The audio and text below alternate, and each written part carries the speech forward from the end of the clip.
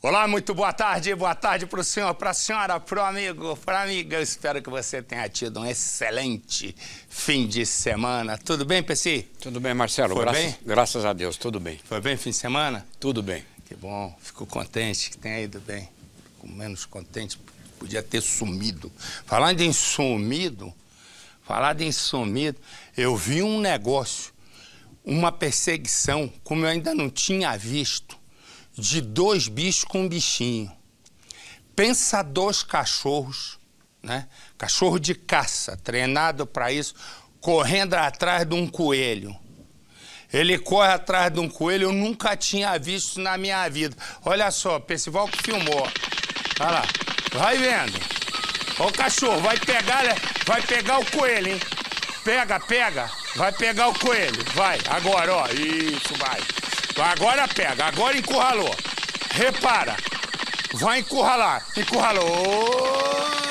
Passou, pegou, não. Também não. Vai vendo se é possível. Olha lá, olha a velocidade do cachorro. O cachorro deve estar uns 60 por hora. Repara. Olha lá. E o coelhinho firme. Ó, pegou, agora pegou. Botar um cavalo para pegar também. Vai vendo, ó, da marginal já tinha levado umas 40 multas. O Haddad já tinha caçado a carteira do coelho e dos dois cachorros. Pegou. Pegou sim, pegou. Vai pegando, vai, olha lá. Vai encosto. Olha lá. Vai lá, olha lá. O cachorro um chama Chete e outro Babalu. Olha lá. Estão tentando pegar. Olha lá, Chete e Babalu tentando pegar encosto. Só que encosto tá ligeiro. Olha lá. Vai vendo, pegou. Agora pegou. Pegou, pegou. Pegou. Agora pegou, não é possível que não tenha pego. Olha lá, lá vai o homem de Malboro. Pegou nada. Lá vai ela, lá. Não tem jeito. Ninguém pega. Vai, vai, vai, agora, agora, agora. Lá, Babalu, agora vai. Babalu é o branco aí, ó. Ó. Lá vai ele, ó. Repara. Olha lá, agora pegou. Dessa vez não escapa. Não escapa, olha lá. Chester agora tomou a dianteira. Vai Chester, um corpo na frente. Lá vai Chester, Babalu atropela por fora. Vai pegar encosto. Pegou nada. Já passou. Ninguém pega o coelhinho olha lá. Vai, vai, vai, Babalu, anda. Babalu é mole, hein? Vai. Olha lá, ó. Ó, pegou, pegou. Eu nunca tinha visto na minha vida a velocidade. Eu já tinha visto falar que o coelho é rápido, mas. Vai vendo, ó. Ó, eles vão, vai parar. Não é possível que esse cachorro vai aguentar lá. Caiu sentado. Babalu caiu sentado, olha lá. Agora pega. Cansou, cansou, olha lá. Cansou, corta pra mim. Cansou, vem, corta pra mim. Cadê? Deixa aqui. Deixa aqui o bichinho. Aqui. Babalu cansou e outro. Aquele negócio demora aí não pega. Pra falar em demora, não pega, pegou. Bota ali a, a máscara. Não, o rapaz que eu pedi, filho. Meu amor, presta atenção no, te- no Cidade Alerta em cima. Senão atrapalha. Podia trocar a equipe, né? De vez em quando. Porque não é possível. Primeira coisa que eu peço numa semana, que hoje é segunda. O cara vai e põe errado, sabe por quê? Não presta. Agora, pergunta se na hora que vem o contra-cheque não vê se está certo. Aí não pode errar. Olha, pensa num homem. O que você está vendo, por incrível que pareça, por incrível que pareça, é, como o rapaz errou aqui, né? É uma máscara. O que que ocorre? Um dos criminosos mais perigosos, mais perigosos do centro-oeste do país, preso. Ele conseguiu essa máscara, se vestiu de uma pessoa idosa, corta aqui para mim, se vestiu de idosa e na hora que terminou a visita, ele, vestido de idosa, é que tinha que dar um plano aberto para a gente poder mostrar sapato vermelho, tudo. O que, que aconteceu? Ele arrumou essa máscara, essa máscara custa 5 mil reais, é aquela, igual aquelas máscaras de missão impossível. O que, que ele fez? Foi e estava escapando do presídio, como se fosse uma senhora, uma vovó. Só que a anta, né? A anta, o que, que ele fez? Na hora de sair, né? Se ele tá de vovó, ele tem que andar com dificuldade. Ele saiu assim. Balançando igual preso, igual boneco de Olinda. Porque preso anda assim, preso não anda normal. Preso tem que balançar assim, senão não é preso. Resumo, ele saiu balançando. Um guarda percebeu, foi lá e pum, reparou que era a máscara. Põe no cidade. Clodoaldo Antônio Felipe, de 44 anos, foi preso em 2009, acusado de tráfico de drogas. Depois de preso e condenado a 36 anos de cadeia, ele foi para um presídio em Aparecida de Goiânia. Aqui no presídio, o Clodoaldo estava incomodado. Privado da sua liberdade, ele não aceitava o fato de estar preso. Durante os seis anos que ele ficou preso aqui, na penitenciária, ele ocupou o seu tempo assistindo filmes que poderiam lhe dar a possibilidade, ou pelo menos a ideia, de encontrar uma forma de fugir daqui. Um dos filmes preferidos do Clodoaldo era Vovozona. No Sheriff Town. E foi justamente nesse filme que o Clodoaldo se inspirou e começou então a pensar uma forma de conseguir fugir aqui do presídio. Ele tentou isso três vezes, mas depois que assistiu o filme, o Clodoaldo então teve uma ideia, Clodoaldo passou muito tempo tentando entender como faria isso. Foi aí que surgiu a ideia da máscara. Foi aí que surgiu a ideia de encontrar uma maneira diferente, que ele acreditava que enganaria todo mundo aqui no complexo prisional.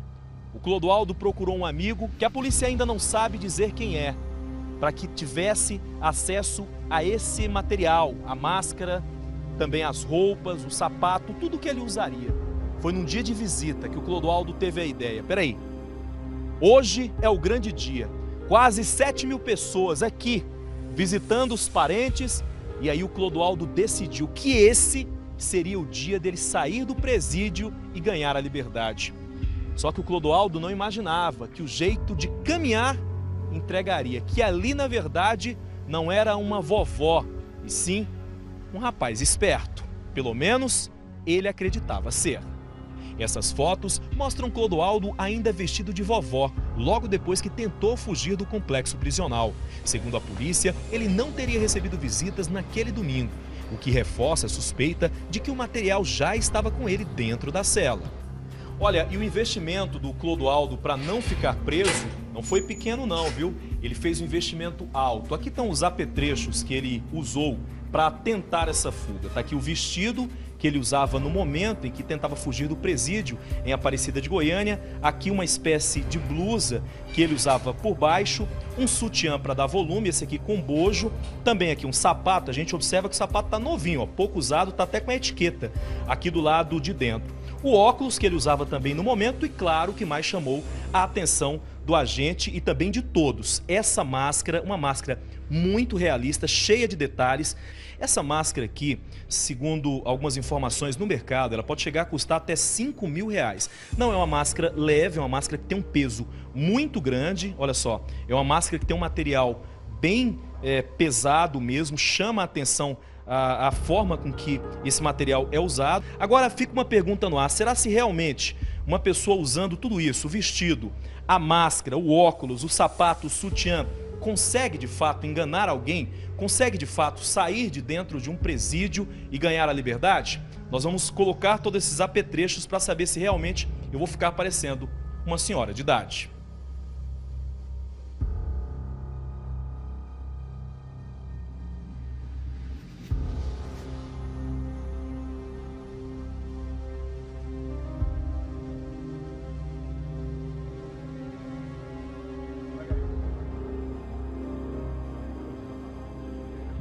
E aí, o que, que você.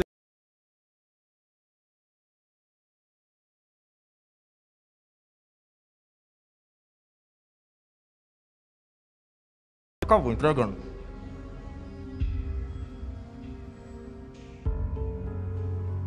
E foi assim, com o jeito de uma inocente vovozinha, que um traficante considerado perigoso pela polícia tentou sair da cadeia pela porta da frente como uma visitante indefesa.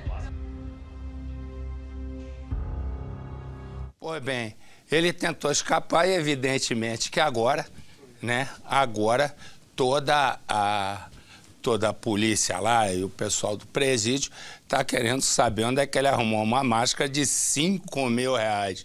A nossa linda Silvier, que não está de máscara, né? Até porque não precisa fugir de ninguém, tá com o rostinho que Deus lhe deu, tem as informações. Diga lá, Silvia, boa tarde. Boa tarde para você, Marcelo. Eu também gostaria de saber, infelizmente, a polícia ainda não tem essa resposta para te dar.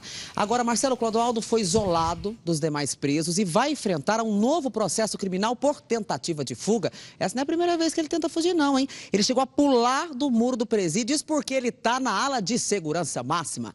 Agora, Marcelo, quando se fala que o Clodoaldo é um homem perigoso, não é à toa. Ele é comparsa do mega traficante internacional Leonardo Dias Mendonça, que tem forte forte ligação com outro megatraficante, Fernandinho Beiramar. Esse todo mundo conhece. Juntos e de dentro do presídio, eles vendiam drogas trazidas de outros países. Marcelo. Obrigado, Silvia. Obrigado, meu amor. Pensei, vou arrumar uma máscara para você. Tivesse ideia agora. Mas, vai, mas vai, ser uma surpresa, fala. Ele quis dar uma de vovó Donalda, mas não passou de um pateta. Como você vê, começamos a semana, a primeira imagem que eu peço é. A primeira piada, a primeira piada. Não, você gostou. Eu gostei. A piada é ridícula, mas eu gostei. Duiro, pensa no seguinte. Ela se chama Ariane e ele se chama Leandro. E Leandro e Ariane começam a namorar e ela tem certeza de que encontrou o amor da vida. A ligação dos dois é tanta. E o sapé aiai é tão explosivo, mas é uma explosão de sapé aiai que parece festa junina no Nordeste. É um sapé que a gigante e ela se rende e diz: Vamos morar juntos. E aí ele vai.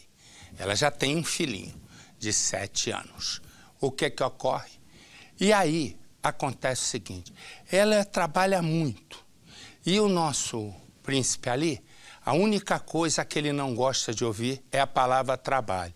Às vezes ele arruma lá um trabalhinho aqui, outro ali, mas o que ele gosta mesmo é gastar o dinheiro da aposentadoria da mãe e agora o dinheiro de Ariane, que começa a se cansar, pede a separação, eles ficam separados um mês, mas o Sapec Ayá fala mais forte e eles voltam. Só que ela já não está tão apaixonada. E aí ela diz: chega. Naquele dia, ela está dormindo. Quando ele, então, Leandro, invade a casa e a ataca. E ataca, ela vai ser internada, mas vai sobreviver. E ele, ele vai acabar preso. Põe no cidade.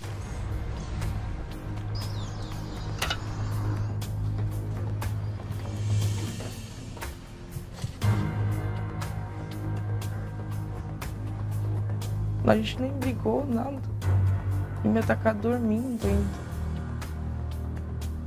Estar sentado frente a frente com essa garota é um privilégio. Ela foi esfaqueada mais de 20 vezes e sobreviveu para contar. O homem que quase a matou estava internado nesse hospital, mas já saiu e dali foi direto para a prisão. Leandro Guedes o namorado de Ariane. Eu achei que eu tava sonhando, daí eu acordei assim já meio tonta, porque já tava dormindo, daí já começou aqui, ó, da facada aqui na minha cabeça. Então aí fiquei mais tonta ainda. Quatro dias antes do ataque, os dois conversaram. Cansada da falta de vontade e iniciativa de Leandro, Ariane sentou com o namorado na mesma sala e disse que pensava em se separar foi a motivação do crime. Logo cedo, o filho de 7 anos, que Ariane teve em outro relacionamento, foi estudar. Em menos de 10 minutos, passou pelo portão e se despediu do namorado da mãe. Levar o garoto pode ter sido parte do plano. Depois que deixou o menino na escola, Leandro voltou com a intenção de matar. Usou a chave para abrir a porta da cozinha e, na sequência, foi à pia, onde conseguiu uma faca. Sabia que o sogro não estava aqui e agiu de forma silenciosa. Fez o caminho inverso em direção ao quarto onde Ariane dormia. Cansada depois de uma noite longa vendo filmes, ela não acordou. Os golpes começaram logo em seguida. A moça demorou para entender que não se tratava de um pesadelo, mas sim de realidade. E quando caiu em si, começou a tentar convencê-lo a parar. Citou o nome do filho, que precisava criá-lo. E assim, o próprio namorado decidiu interromper o ataque. Deitou na mesma cama e passou a ferir o próprio pescoço. Foi o momento que a mulher aproveitou para fugir. É a primeira vez que a vítima consegue falar sobre o assunto. Pra ele, para, por que, que você tá fazendo isso? E ele falava, não, eu te avisei, eu te avisei.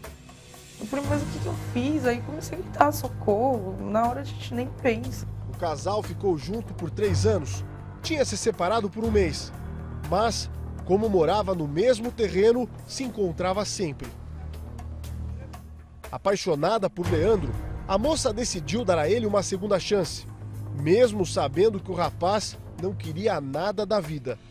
Quando a polícia isolou a rua com fitas, tentava negociar a rendição do acusado. Leandro tentou suicídio dentro do mesmo quarto e com a mesma arma do crime, mas desistiu quando percebeu que estava sozinho. Os segundos que teve para respirar e pensar, mesmo gravemente ferida, Ariane rastejou pela sala e conseguiu chegar ao quintal. Foi quando entrou na casa vizinha e se escondeu. Quando eu cheguei na porta, eu cheguei a colocar a chave, mas eu não lembro como foi que eu caí, porque eu só lembro que eu acordei. E ele vinha vindo atrás, segurando a garganta. Eu falei, ai meu Deus do céu, Aí parece que Deus me levantou assim na hora e eu consegui abrir a porta e sair. No instante em que Leandro percebeu que a namorada tinha fugido, ele ainda tentou persegui-la, mesmo gravemente ferido. Como não a encontrou porque Ariane estava escondida na casa da vizinha, fez este percurso pela lateral da casa para chegar aos fundos, aqui, onde mora a mãe. Exatamente neste ponto, pegou a outra chave que tinha e abriu aquela porta que dá acesso à cozinha. Se escondeu lá dentro, achando que a polícia não iria encontrá-lo. Mas os gritos começaram logo em seguida. Os policiais pediam que ele saísse, mas muito alterado e agressivo, ele gritava que não. Quando a polícia arrombou a porta, precisou utilizar uma arma de choque para contê-lo, conter a fúria de Leandro, que não queria se entregar. Tanto que daqui ele foi direto para o hospital.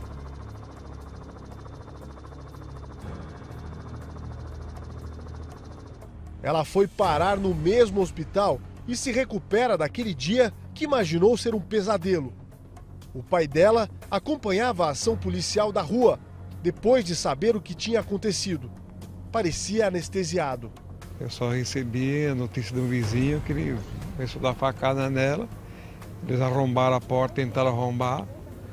Aí o, o, o inquilino que chamou a polícia. Ariane trabalha como merendeira neste colégio estadual que está bem perto da casa em que tudo aconteceu. Tão perto que ela vem para o serviço de segunda a sexta a pé. Tentamos conversar com os colegas dela. Eles ainda estão muito assustados, mas disseram longe da câmera que ela é uma excelente funcionária. Tão boa que tem crescido na profissão. E sonha em um dia ser nutricionista. Mas o sonho só pode ser concretizado no dia em que ela voltar e superar o trauma. Eu tenho muito medo, eu não sei daqui para frente assim, eu vou tentar, lógico, seguir minha vida, meu filho em primeiro lugar. Leandro se mantinha com o dinheiro da aposentadoria da mãe. Sempre deixou claro que não gostava de trabalhar. Ele já tinha ameaçado a Ariane outras vezes. E ele falou: Meu, você acha que você vai se livrar de mim assim, né? Tão fácil, né? Mas não, se você separar de mim, eu vou matar você. O jeito agressivo nunca mudou. Sem emprego e viciado em drogas, Leandro decidiu acabar com tudo da pior forma. Para a polícia, o plano foi traçado no dia em que ela demonstrou não estar mais apaixonada. Peço que um dia eu consiga superar isso, né? Porque isso é pro resto da minha vida agora. Não tem como não esquecer isso.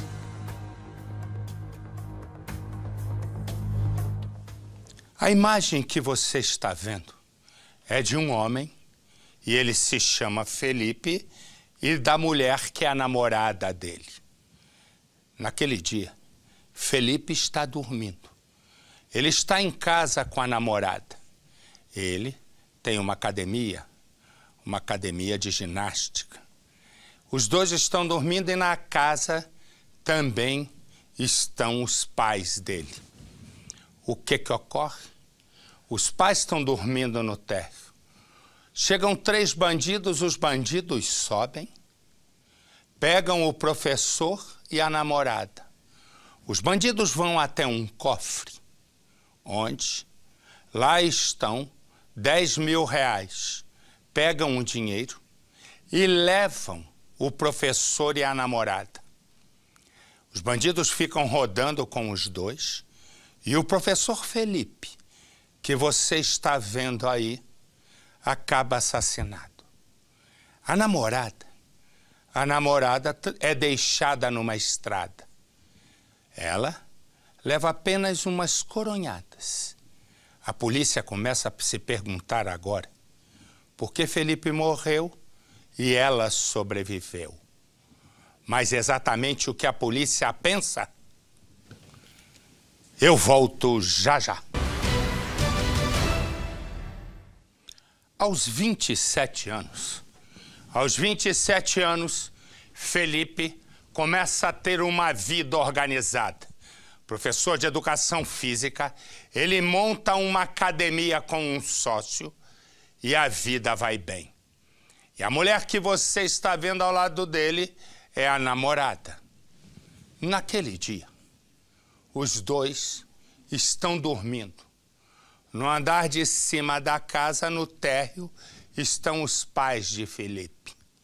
É nessa hora que entram três homens.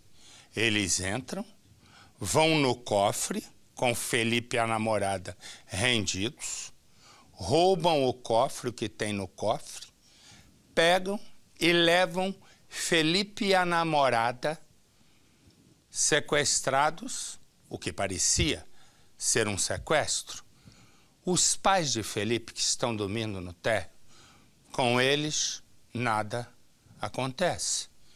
De repente, de repente os homens estão indo, eles vão, matam Felipe, mas não matam a namorada de Felipe. A polícia, nesse instante, tenta ver dois ângulos do crime. Primeiro, que teria sido um roubo e que depois eles decidiram matar o Felipe. Mas uma parte não encaixa na cabeça de alguns policiais. Se eles querem acabar com Felipe, testemunha, né, que poderia reconhecê-los, por que não acabar também com a namorada?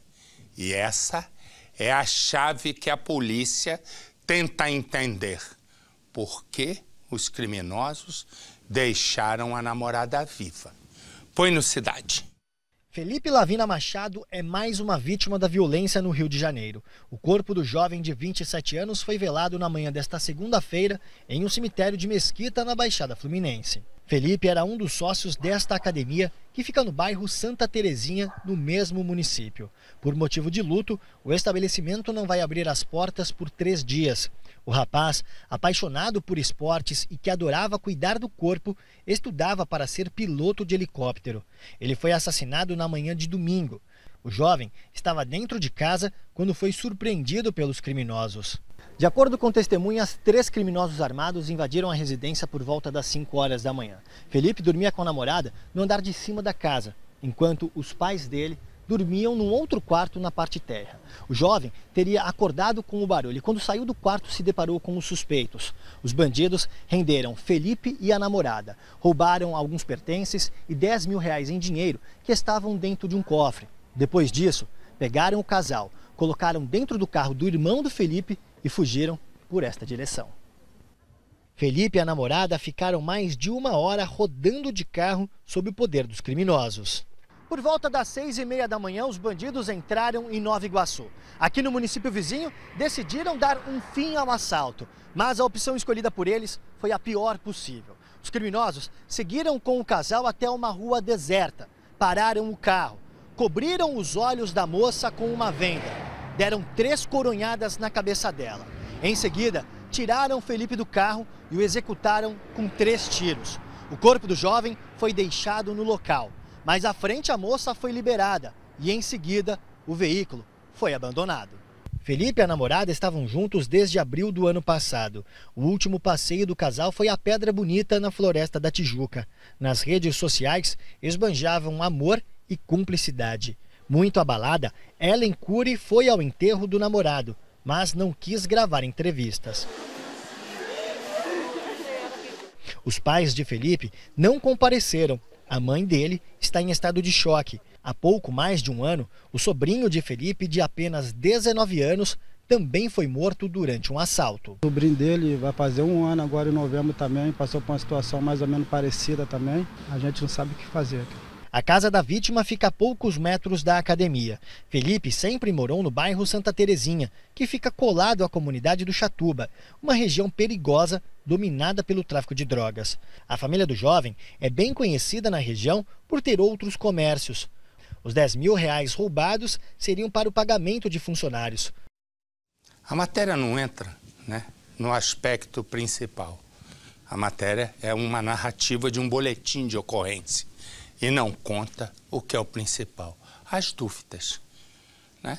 Relato é um relato do boletim de ocorrência a partir do pouco que se sabe e do testemunho da namorada, que é a única sobrevivente da história. Portanto, está longe né, a reportagem de mergulhar na questão central, que é o porquê como a polícia está olhando essa questão.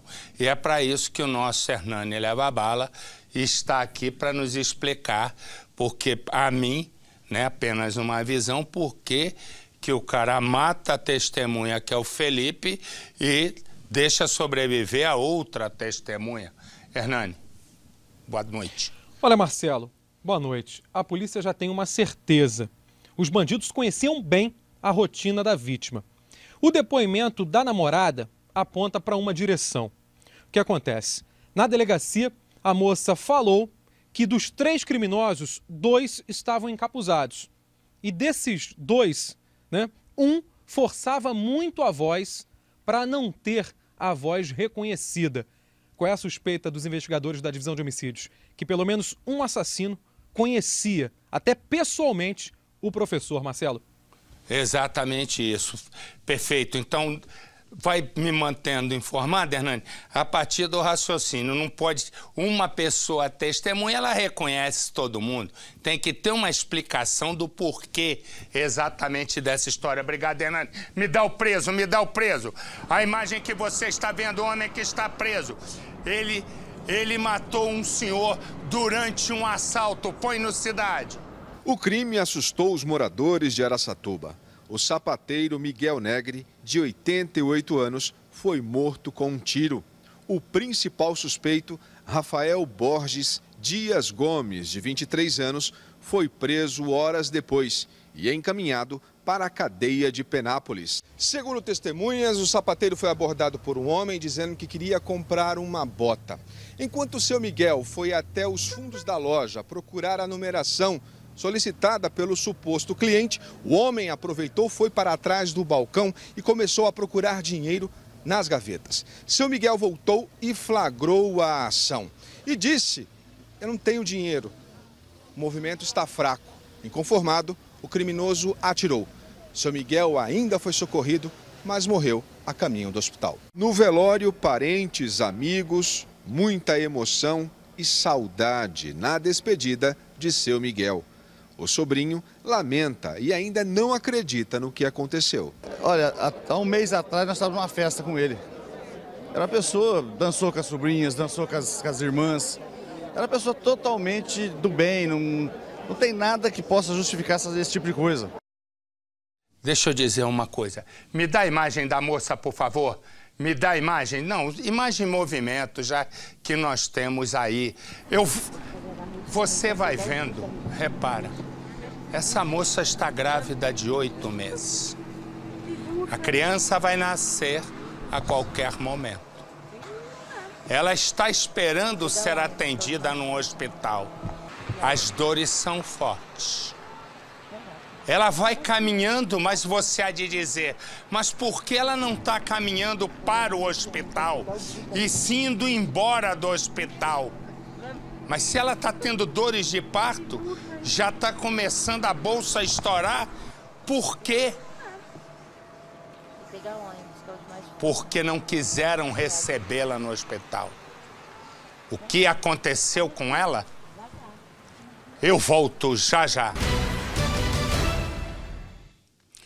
O nosso Rogério Guimarães, nosso repórter sertanejo, estava andando aqui pelo fim de semana, no fim de semana, e de repente ele se depara com duas situações. A primeira situação é uma situação extremamente difícil de julgar, até porque nós não somos médicos então fica difícil. Mas essa senhora, né? e talvez esse seja, no todo ou em parte, o retrato da saúde pública no Brasil. Essa senhora, grávida, grávida de oito meses, ela vai ao hospital, ela tem dores fortes, a bolsa estoura, ou começa a estourar, eu não sei dizer a sequência exata, porque eu não entendo disso. Resumo o que ocorre. Ela vai, vai, é atendida, dão um remedinho para ela, tipo remedinho para gases, e resumo da carruagem, manda ela para casa. Manda ela voltar para casa e no momento, né, o nosso Rogério ligou para ela ainda há pouco, ela vive um desespero. Porque ela está grávida de oito meses, tem certeza que o bebê quer nascer e, portanto, ela está em casa sem saber se o bebê nasce, se sobrevive, o que exatamente aconteceu. Ela está completamente desamparada. Nesse mesmo hospital, esse bebezinho ali chama Wellington está com um problema no coração. Ele aguarda uma cirurgia. O hospital informa que não tem estrutura para uma operação desse porte, mas também não transfere a criança para lugar nenhum. Os médicos chamaram a mãe do Wellington e disseram o seguinte: que se o bebê não fizer a cirurgia, ele vai morrer. Os rins do Wellington já não estão funcionando direito. Não é possível né, que não se consiga uma vaga para operar a criança. Vai deixar o quê? Morrer? Põe no cidade. Hospital dos Pimentas, em Guarulhos. Uma mulher chega em trabalho de parto, mas é liberada pelos médicos. Está chegando aqui na entrada do pronto atendimento. Bom, essa paciente de vocês aqui com dor foi liberada com uma receita de Buscopan na mão. Está grávida, prestes a dar à luz. Quem pode dar uma explicação sobre isso? Só que ela está passando mal. Não tem uma cadeira de rodas, não tem nada para ajudar a moça? Rejane tem 24 anos. Está grávida de um menino. Começou a ter as dores do parto precocemente, aos oito meses de gestação. Mas a informação aqui é que ela vai ser atendida de novo. Vai ser atendida de novo que ela reclamou e vai ser atendida de novo. Aí, Agora é esperar. Agora é esperar, né, pra ver. Rejane é levada de volta para o atendimento, passando mal. Bom, ela foi levada por uma funcionária aqui do hospital lá para dentro. A mãe dela está acompanhando tudo. Quero documento para abrir uma nova ficha. Vão abrir uma nova ficha para ela subir novamente. Uma enfermeira tenta impedir a gravação. Outra funcionária, acho que a enfermeira, está pedindo para fechar a porta para a gente não ver o que, que vai acontecer lá dentro. Eu não sei qual o motivo, moça, porque é público, não é? Público ou particular? A gente só está tentando ajudar, não sei se a senhora está vendo. Minutos antes, encontramos a Rejane assim, indo embora, perdendo líquido. O que, que eles disseram? Que ainda não está na hora. Falou que não tá na hora ainda. Aí mandou ir pra casa, Ela mas eu vou pra líquido. outro, pra outro hospital agora. Então, na visão do hospital, você ainda não está dando a luz. Não, porque minha bolsa não estourou. Só se estourasse eu ficava, mas como não estourou, eu tô delatando e mandaram embora. Com dor. Com dor. Você continua com Continuou com dor e tendo contração. A mãe ficou revoltada porque a filha saiu da mesma forma que entrou. Mandaram ela para casa, que eu vou ter que levar para outro hospital, porque aqui não vai ter como ela ter um neném, porque ela está tendo neném prematuro e aqui eles não podem, então tá mandando para casa. Quer dizer, eu vou levar ela para casa de ônibus e de lá eu levo ela para outro hospital. A dor que a Rejane sentiu tem a ver com a dilatação que os médicos constataram, sinal do início do parto normal. Mesmo assim, ela foi liberada para sentir as dores em casa. Um risco para o bebê por causa da perda de líquido, um risco para a mãe. Marcelo, disseram o que aconteceu com a sua irmã? Então, disse que ela vai fazer o retorno novamente, mas ela não pode informar que o médico vai fazer ou não. Mas ela só vai subir, provavelmente vai fazer a mesma coisa e vou mandar embora. No mesmo hospital dos Pimentas, periferia de Guarulhos, na Grande São Paulo, outra família em desespero por causa da situação desse bebê recém-nascido. Wellington Miguel está internado desde que nasceu. Ele sofre de uma cardiopatia congênita, um bloqueio na artéria que dificulta a chegada do sangue ao coração. A veia dele tá, tá um pouco entupida e ele tem que ser operado urgente. Tava todo inchado ontem, já cortaram ele de todo canto, rasparam a cabeça do menino. Apesar da cirurgia ser de urgência, o bebê continua aqui. Está na UTI pediátrica do hospital, numa incubadora. Eles falaram que não tem, aí não tem pote para fazer a cirurgia, que ele precisa ser transferido para outro hospital. Só que ele fala que os hospital não tem vaga. Eles falam que ligam todo dia, mas os hospital falam que não tem vaga para eles fazerem a cirurgia. E o médico falou que ele tem que fazer a cirurgia urgente, porque senão ele morre.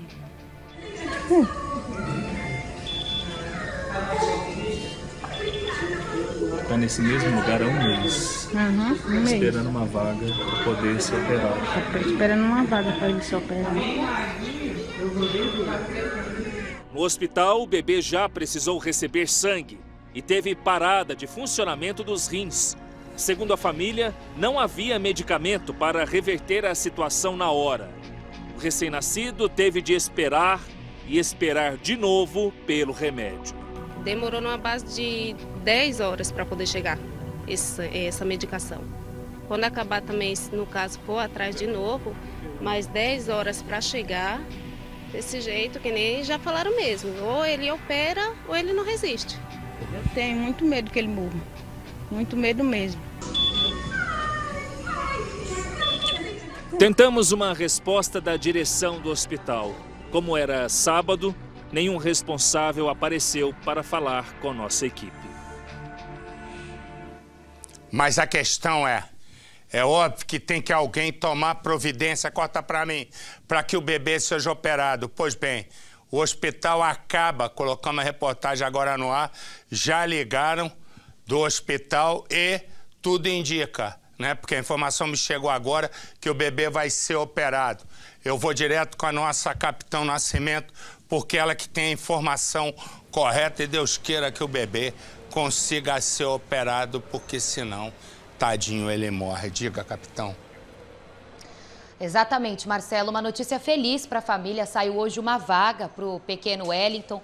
Ele vai ser transferido para o Instituto Dante Pazanese na capital. É um instituto de cardiologia mesmo. Lá ele vai passar por uma cirurgia cardíaca pediátrica. O Hospital de Guarulhos enviou uma nota informando também que a todo o tempo que ele ficou lá no hospital, recebeu os atendimentos necessários e estava aguardando a vaga que, para a felicidade da família, saiu hoje.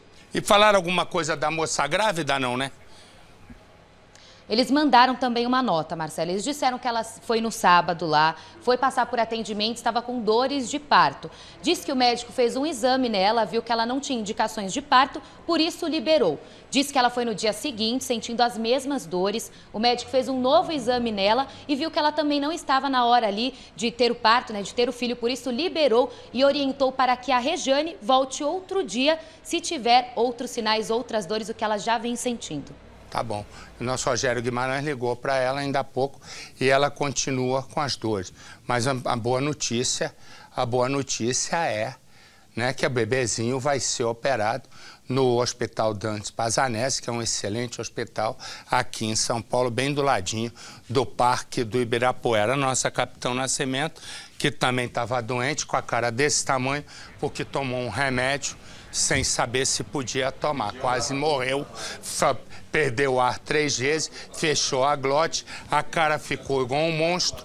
Agora está aqui com essa carinha bonita. Na próxima que ela tomar um remédio desse jeito, eu vou te pôr de castigo, porque quase você fica de castigo para sempre, né? Pouco, pouco. Valeu, até já. Tchau. Quase por pouco a bichinha não vai desse mundo para outro. Ficou, eu quase mostrei a foto dela aqui.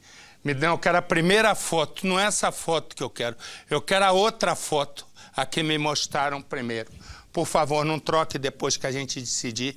Por quê? Por uma razão, porque essa foto expressa muito melhor a situação. Mas o que eu queria dizer é exatamente isso. Nossa Capitão Nascimento, a bola ficou quase no bico do corvo. A bola dela bateu na trave, bateu na linha quase 500.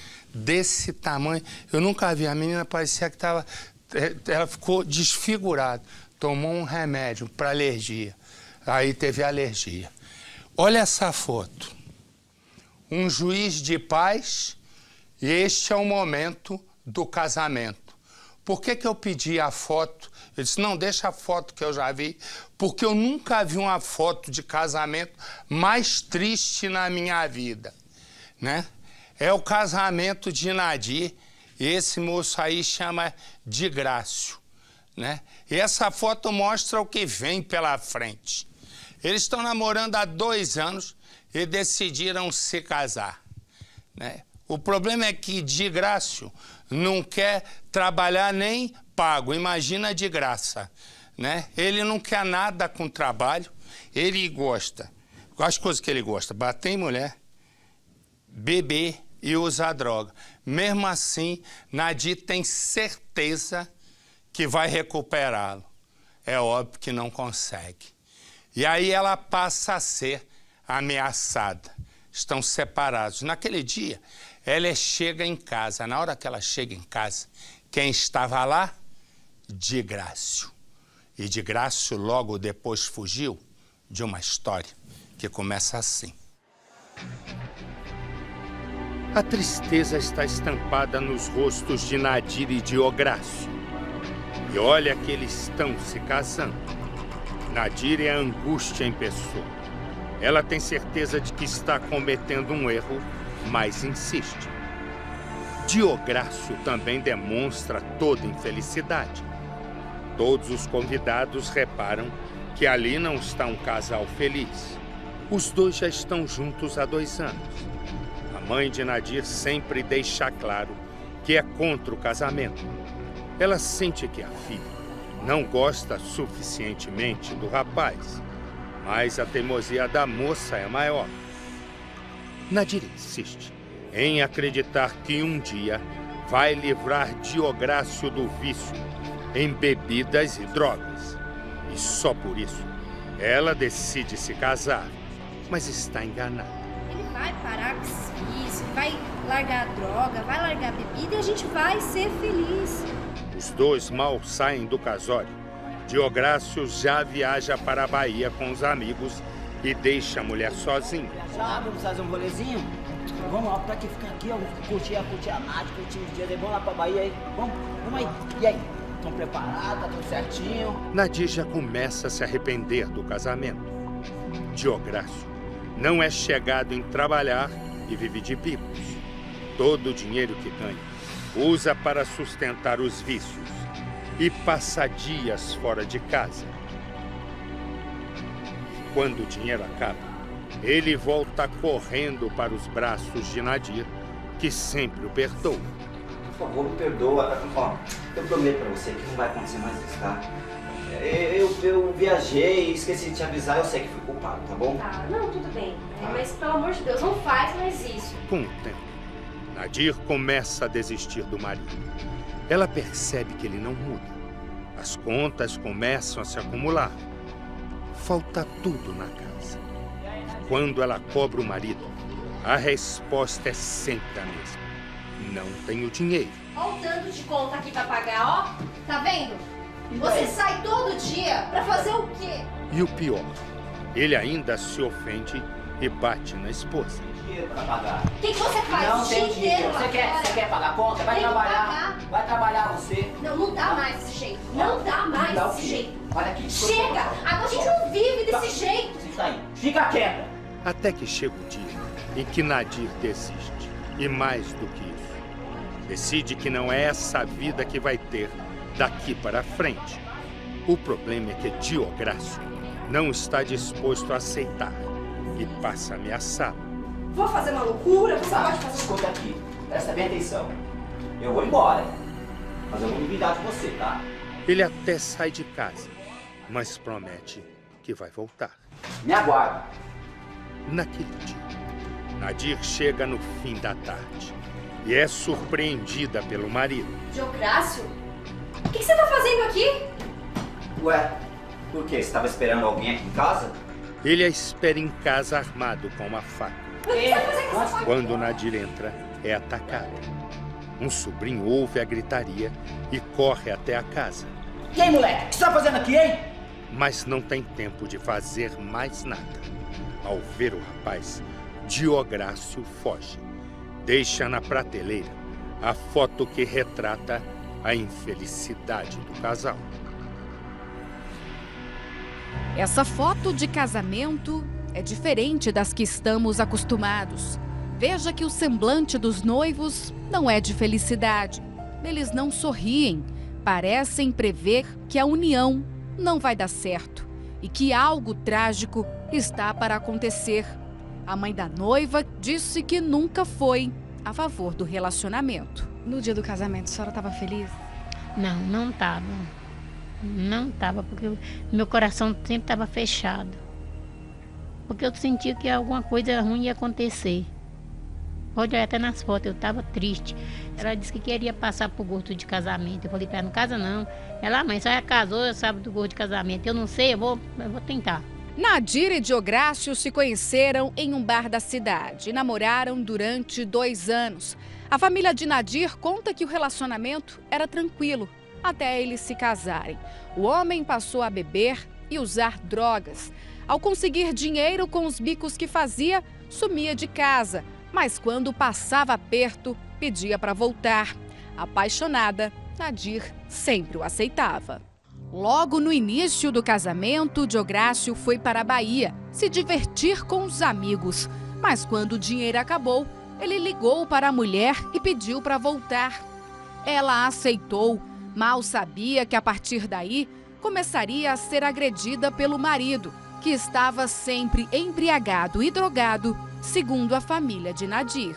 O casal também brigava por problemas financeiros. Diográcio não queria ajudar nas contas de casa. Nadir chegou a pedir para ele mil reais para terminar esse muro, mas ele a cobrava com ameaças. Sem poder contar com o marido, Nadir resolveu se separar, mas ele não aceitou o fim do casamento. Falei, ó, Nadir tá te devendo o seu dinheiro.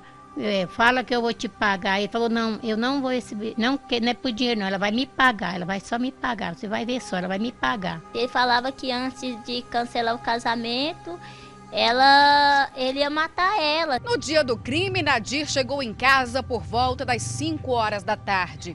Ao abrir a porta, levou um susto. Se deparou com Diográcio, que já estava aguardando por ela com uma faca na mão. Ele imediatamente a atacou. O sobrinho de Nadir, que estava passando por aqui, ouviu toda a gritaria e veio até a casa. Ao chegar aqui, se deparou com a tia sendo agredida. Tava bem ali escorado em cima dela assim e com a faca. Aí eu falei, o que, é que você tá fazendo? Aí ele pegou bem assim.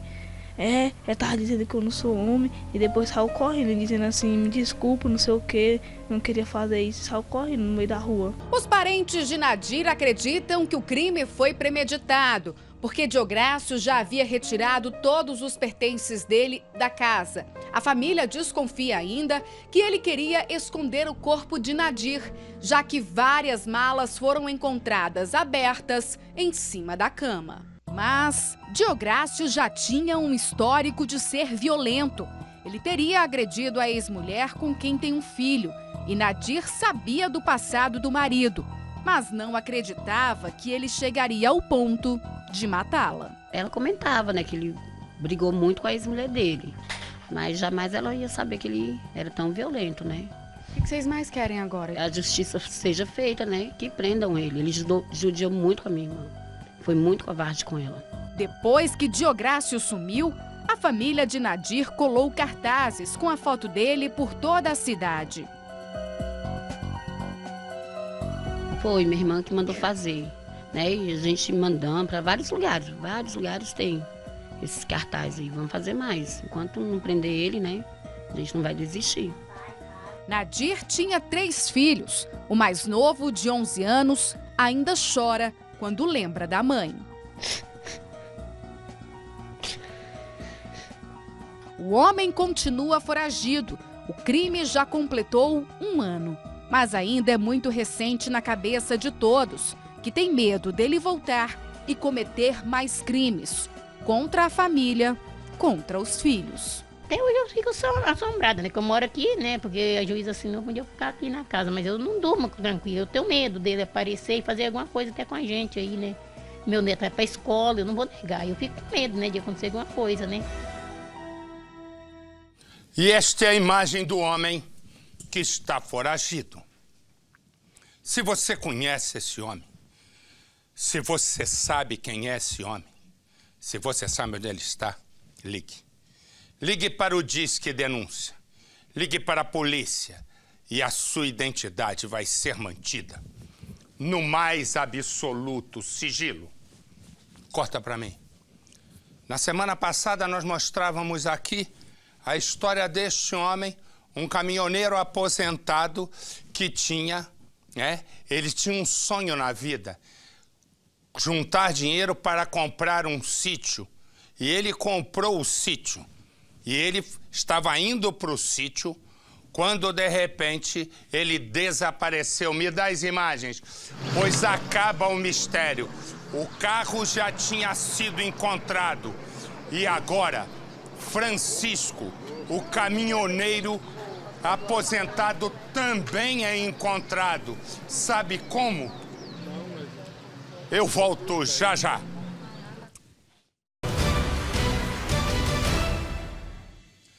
Mas como eu falava, nós mostramos na semana passada, né, que aquele senhor ali era um, um caminhoneiro aposentado, Francisco, 56 anos, também se aposentou cedo. Ele, né, ele tinha um sonho de comprar um sítio e comprou. De repente, ele estava indo para o sítio, parou numa mercearia, há imagens dele na mercearia.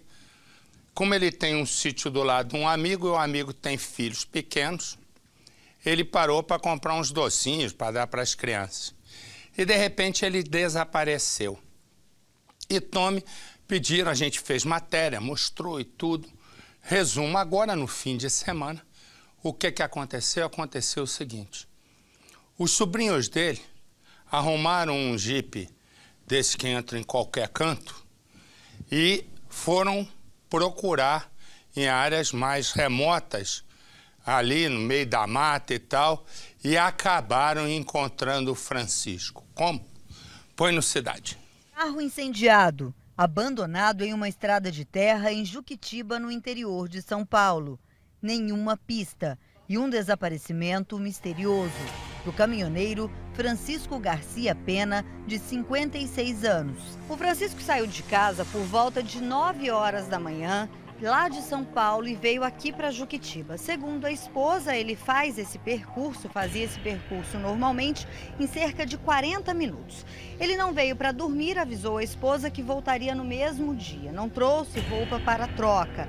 Passou aqui na mercearia do seu Rubens, um amigo de muitos anos, e veio comprar doces para as crianças de um sítio vizinho. Como é que ele estava, seu Rubens? Ele demonstrou que estava preocupado com alguma coisa, por exemplo? Não, a mesma, ele sempre as mesmas coisas de sempre, sempre com alegria, falando, falando, falando normal, não, não, como não tinha diferença nenhuma.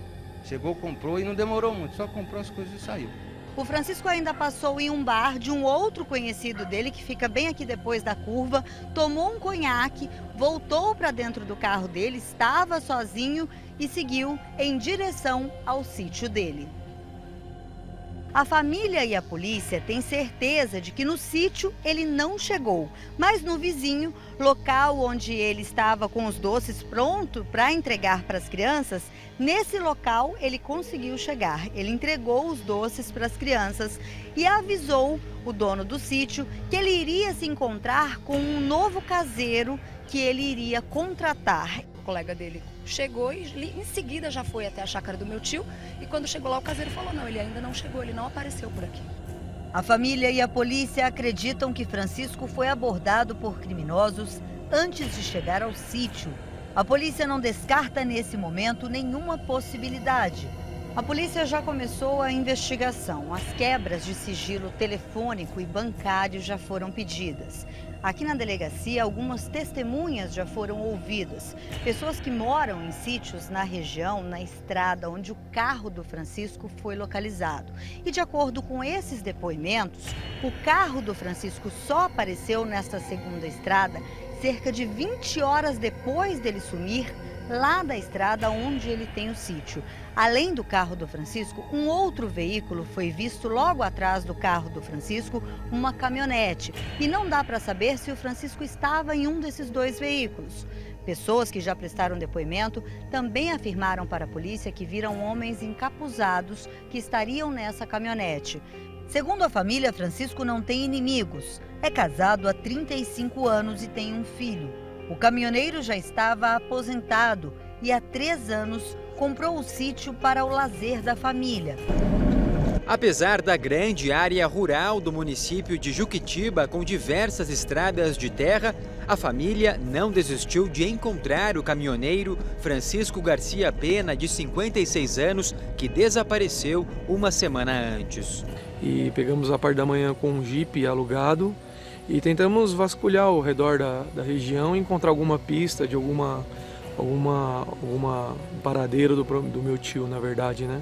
Os parentes passaram a semana vasculhando a região onde o carro do caminhoneiro foi localizado queimado um dia depois do desaparecimento.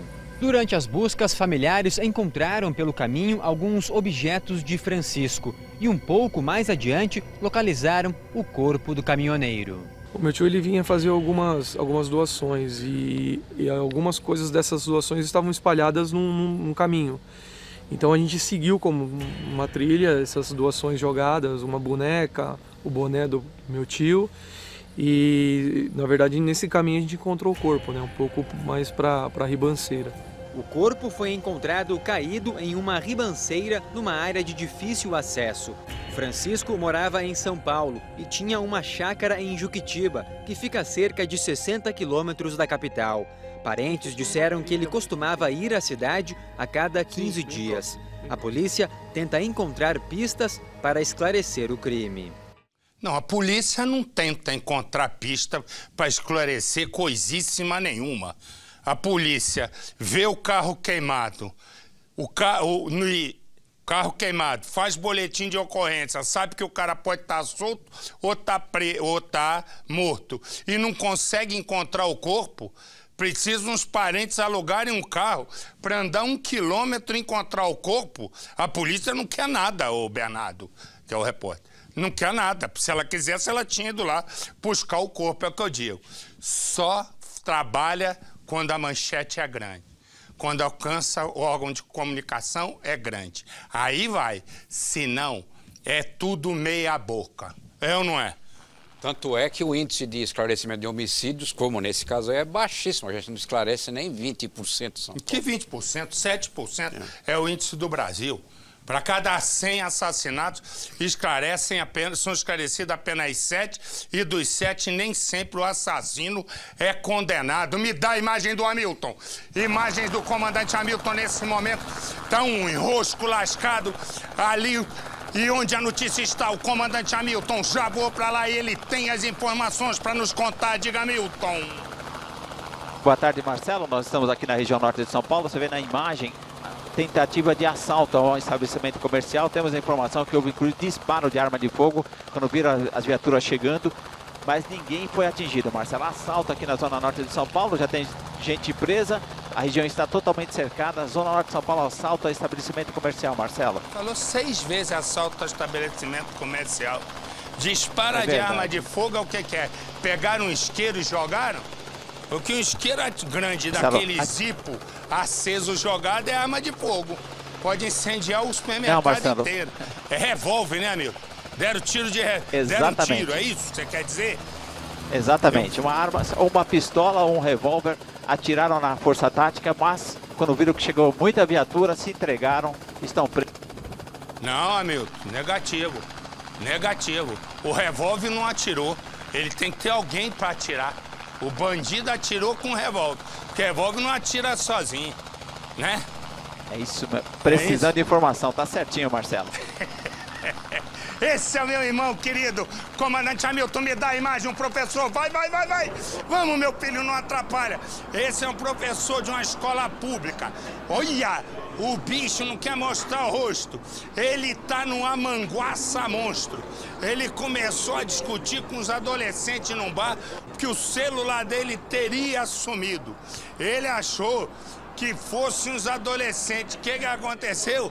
pegou a arma e sapecou de tiro dos adolescentes. Ela tá numa manguaça, põe no cidade. Uma briga em uma lanchonete quase acaba em morte. Homem bêbado disparou contra adolescentes que estavam no local depois de uma discussão por um aparelho celular. Os quatro adolescentes estavam sentados neste bar aqui na Avenida Aquidaban, quando um homem apareceu e disse que os adolescentes teriam roubado o celular dele. Foi aí que uma briga começou. Ele estava machucado, com o braço engessado, quebrado, né? E ele caiu, a gente foi ajudar, ele recusou a ajuda da gente. E ele tinha deixado o celular dele na pizzaria ao lado, carregando, né? E ele ficou insinuando que a gente ia roubar o celular dele. E aí a partir daí começou toda, a confusão. Já começou a agredir um amigo meu, um amigo meu agrediu ele também. Ele me agrediu, eu fui pra cima dele também. Aí ele foi embora, buscou o revólver atrás da gente. No momento da confusão, o bar estava lotado. Houve correria. Todo mundo viu ele tirando a arma, sacando a arma, apontando na direção da gente e deu disparo. O homem que fez os disparos foi preso no local. Sérgio Ricardo Nogueira, de 47 anos de idade, é professor em uma escola pública de Campinas. Ele não tinha passagem pela polícia. Por sorte, ninguém se feriu. Você vai vendo, essa mulher era procurada, era uma das criminosas mais procuradas de São Paulo, ela chama Vanilde. Ela falsifica a carteira de motorista, retira pontos, multas dentro de um Ciretran, exatamente aqui no litoral paulista. Ela estava 10 anos foragida. E a ficha criminal dela vai daqui no Afeganistão. Ela foi presa num supermercado. Ela tinha fugido. Olha, olha a ficha criminal dela. Vai vendo. Não. Não repara se é possível esse Brasil. Como é que alguém que tem uma ficha criminal desse tamanho tá solta, meu Deus do céu? Como é que a justiça solta ela? Foge. Evidente. Resumo, ela tinha fugido para Santa Catarina e foi presa lá. Agora já está em São Paulo. Mostra a ficha dela aí, ó. Repara a ficha criminal dela. Olha o fotógrafo lá quase. Olha o tamanho. Vai vendo. Vai vendo. Isso é a ficha criminal só dessa mulher. Eu nunca vi uma tão grande na minha vida. Olha. Me pergunta, bichinha invocada ou não é? Põe no cidade. Nossa. Por 10 anos, ela se escondeu da polícia. Estava na lista dos 10 mais procurados de São Paulo. E agora presa, a criminosa ri. Vanilde Alves tem 50 anos. Ela é acusada de falsificar carteiras de motorista e retirar multas e pontuações ilegalmente, enquanto trabalhava no Ciretran de Itanhaém, no litoral sul de São Paulo. Foram cinco anos praticando crimes e o resultado é este: uma longa ficha criminal. São mais de 191 inquéritos contra a Vanilde. Por 10 anos, a polícia procurou pela criminosa, mas ela conseguiu se esconder. Assim que soube que era investigada pelos crimes, pediu demissão no trabalho, saiu do litoral e foi para Santa Catarina, morar com as duas filhas e o marido. Vanilde morava nesta casa, trabalhava fazendo doces. Foi através deste carro que ela usava para andar na cidade que a polícia conseguiu encontrá-la. Durante a investigação, a polícia conseguiu descobrir o carro que Vanilde estava usando para passear por Santa Catarina. Isso porque a criminosa levou uma multa e na foto da infração ela aparecia dirigindo o veículo. Por isso, os policiais começaram a seguir os passos da criminosa. Ela foi presa dentro de um supermercado e, mesmo após a prisão, não demonstrou nenhuma preocupação. Está com essa vida de fugir.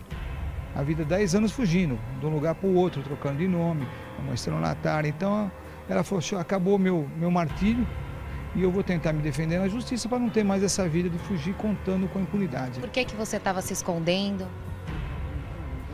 Vanilde será levada para a carceragem de uma delegacia da Zona Sul e depois será encaminhada para o presídio de Franco da Rocha, na Grande São Paulo. A investigação não conseguiu apontar nenhuma outra pessoa que estaria envolvida no esquema. Ela fez muito mal, né? Ela colocou centenas de pessoas na, para dirigir sem ter a mínima noção. Ela cometeu muito crime aí, às vezes até pior do que um bandido.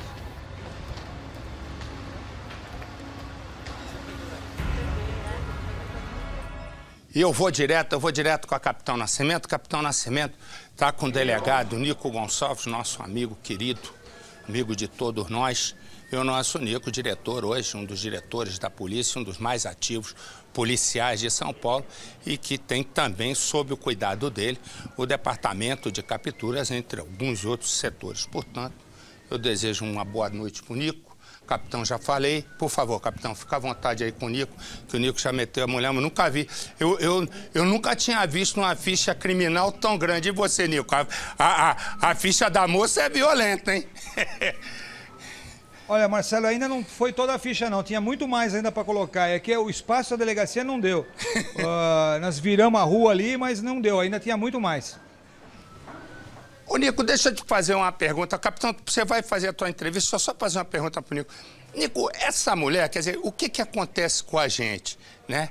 A gente que não tem noção disso. Quando a gente vê uma ficha criminal desse tamanho, a percepção que passa para mim, cidadão, é a seguinte: é que, para ela ter essa ficha, é sinal que a polícia atuou várias vezes para prendê-la, né? Mas, ao mesmo tempo, alguém, a, a, lei acaba soltando. E isso eu fico imaginando o que, que é para um policial como você, né, um policial de rua, né, apesar de ocupar um cargo importante na polícia, você é um homem de rua, é um operacional. Resumo, deve ser uma baita frustração para vocês, né, policiais de rua, ter uma ficha criminal dessa mulher, prendê-la a todo instante e vai lá no dia seguinte você vê ela solta, ou não? É verdade, Marcelo, bem lembrado. Você vê, são 191 inquéritos policiais que ela responde. Tem 17 mandados de prisão e aberto contra ela. Se juntar as penas que ela tem, dá mais de 100 anos de cadeia. Então é muita coisa, muito trabalho, mas isso não desmotiva a polícia. A polícia está aqui, está motivado. É, foi uma vitória, está 10 anos foragida. Ela é vigarista, como você sabe, vigarista corre para lá, corre para cá, troca de nome. É difícil prender uma vigária. E essa foi um, marco para a Polícia Civil prendê-la. Eu estou aqui desde janeiro como diretor do DECAP e pedi para a segunda delegacia, lá do Dr. Claudio Kiss, Dr. Marcelo, que desse atenção a prender esses 10 mais procurados da lista. Hoje conseguimos pegar o primeiro. Você vê, foram seis meses de trabalho, Marcelo, trabalho incessante. Nós temos para Camboriú, para várias outras cidades, ela sempre mudando, trocando de nome, porque é uma vigária, né? Então, é um orgulho para a polícia prender essa mulher hoje. Obrigado, obrigado, Nico. Parabéns mais uma vez, o doutor, o doutor Oswaldo Nico, né? E ele, ele que é um dos policiais mais ativos de São Paulo, sempre à frente de grandes prisões e mais do que o policial, isso eu posso agora testemunhar. É um amigo sempre presente quando você precisa, não é precisa de favor, não precisa uma conversa, às vezes você precisa conversar com um amigo, bater um papo, e o Nico é dessas pessoas admiráveis e que dá gosto da gente conhecer. Parabéns, Nico. Deixa-me dar aqui, pensar no seguinte, o que nós estamos vendo são meninas pobres, as idades são entre 9 e 14 anos. Elas são escravas escravas de um trabalho escravo e escrava sexual. Exatamente. Ali, num território, num território fechado, o repórter Lúcio Sturme foi até lá. É um pequeno uma quilombola na cidade de Cavalcante, em Goiás. É o maior índice de violência sexual contra crianças. 60 crianças por ano, 60 casos envolvidos, políticos, comerciantes e um dentista que cumpre a pena em liberdade. Vê se é possível. Põe no cidade. E meu pai quilombo, eu também sou quilombola. A minha luta é todo dia, é toda hora. E na hora que nós tava dormindo, ele foi lá no quarto de noite. Abusava de você? Sim. Foi aí que eu parei assim, meu Deus, o que, que eu fiz com minha vida? Quilombos são guerreiros numa grande união. Eu passava, passando para casa. Cantasse pra alguém ia matar eu e mãe.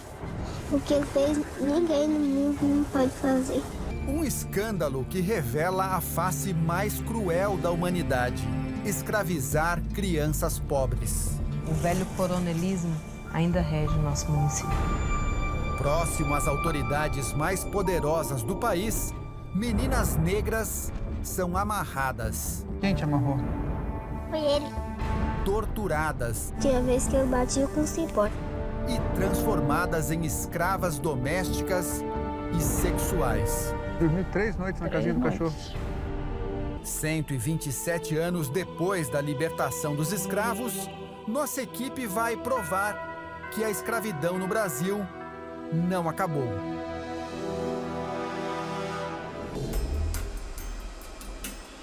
A viagem para conhecer os Calungas começa em Brasília. O Quilombo fica a 320 quilômetros da capital federal. A cidade mais próxima é Cavalcante, com 10 mil habitantes. Daqui para frente, vamos entrar na mata. No meio do cerrado. Há quase três séculos, os escravos fugiram do trabalho nas minas de ouro e se esconderam em meio às montanhas. Aqui, entre rios e cachoeiras, encontraram tudo o que precisavam para sobreviver. Esta aqui é uma casa típica da reserva Calunga. É aqui que a Eliene mora com cinco filhos e o marido.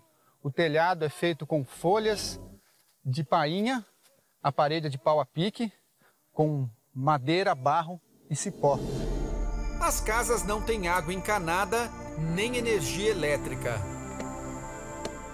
A tecnologia está longe do alcance dos calungas. Você já viu televisão? Nunca assistiu? Nunca viu televisão? O cardápio é quase sempre o mesmo. A mandioca, o arroz e o feijãozinho mesmo. Carne só quando a pontaria não falha.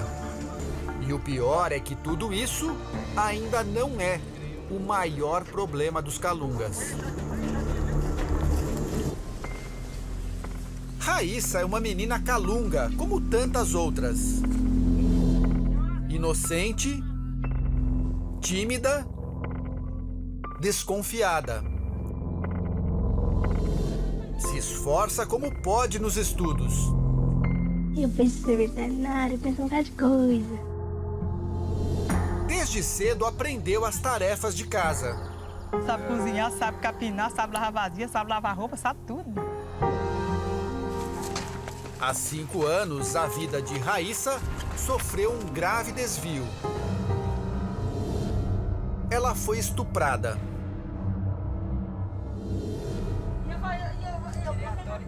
A menina vive agora com os tios.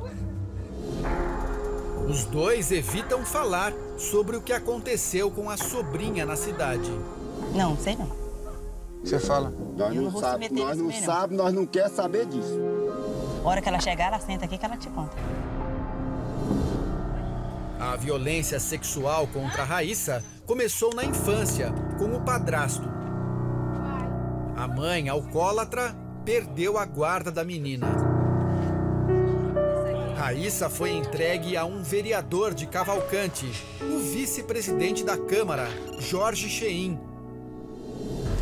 Tudo mudou no dia em que, segundo ela, o homem que deveria tratá-la como filha entrou no quarto com outras intenções. Aí na hora que nós tava dormindo, ele foi lá no quarto de noite. Não teve sequer chance de se defender. Pensou em gritar? Não, que eu já tava amarrada. Você tava o quê? Amarrada? Quem te amarrou? Foi ele.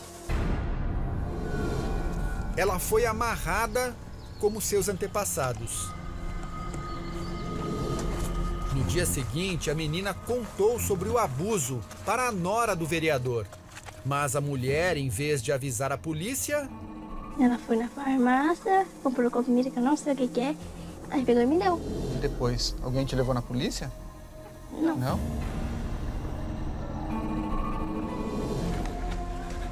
Raíssa sofreu calada por dias e dias. Quase um mês depois, decidiu ir sozinha ao conselho tutelar denunciar o crime. Por que que você decidiu ir até o conselho tutelar para contar tudo? Que foi? Eu tava com medo, com medo de me matar. Disse que eu contasse pra alguém ia matar eu e minha mãe. Exames comprovaram o estupro. O caso virou um escândalo na cidade. Evani, ex-empregada doméstica, está à frente do Conselho Tutelar de Cavalcante há dois anos. São, em média, 60 denúncias de violência sexual por ano. Até o momento eu não tinha passado por uma, por uma cidade assim, com tantos casos, né? De estupro como aqui, né? Só que o único órgão destinado a atender menores na cidade está praticamente abandonado. O conselho, mantido pela prefeitura, não tem psicólogo há mais de um ano. Para piorar, o conselho foi atacado duas vezes nos últimos cinco meses. Nesta sala funciona o escritório do Conselho Tutelar que foi arrombado da última vez. Aqui em cima desta mesa, esses documentos são relatórios de crimes praticados contra crianças e adolescentes. Todos esses documentos estavam espalhados pelo chão, alguns ficaram sujos de barro porque foram pisados. As funcionárias estão fazendo um balanço, mas já constataram que quatro relatórios desapareceram. Mãe de três filhos e moradora da periferia, a conselheira já recebeu ameaças por causa da luta em defesa das crianças. Falando pra gente tomar cuidado, que a gente tava falando, conversando, que a gente poderia sofrer consequência com isso. Os agressores, segundo ela, subornam até os pais das vítimas. A extrema pobreza que, que, que vai levando né, nossos os pais também é, se, se corromper com toda essa situação. Foi justamente o que aconteceu com Raíssa. O próprio pai biológico, que ela não via há muito tempo, reapareceu e ofereceu dinheiro para que ela voltasse atrás nas denúncias. Ele falou o quê? Ele falou que ia me dar 400 para falar que era mentira. Esta é a principal estrada dentro da reserva. Foi construída pelos próprios moradores há oito anos. O caminho aproximou os quilombolas da cidade, mas, por outro lado, deixou os descendentes de escravos mais vulneráveis. O contato com a cidade fez com que os mais jovens buscassem lá fora algo que não tinham dentro do quilombo: educação. E foi justamente a busca por um futuro melhor que colocou uma menina calunga em um pesadelo. Soraya mora nesta casa com os pais e cinco irmãos. Quando a menina fez 10 anos, a família decidiu que ela deveria estudar na cidade. O estudo é mais avançado um pouco que aqui. Aqui aí nós mandou ela para estudar, né? O dono deste supermercado em Cavalcante se prontificou a ajudar. O empresário Neuvalto Cândido de Souza, ex-secretário de Finanças da cidade, cedeu um quarto em sua casa para Soraya. Soraya era obrigada a fazer serviços domésticos, apesar de ter apenas 10 anos. Eu passava, passava limpar a casa.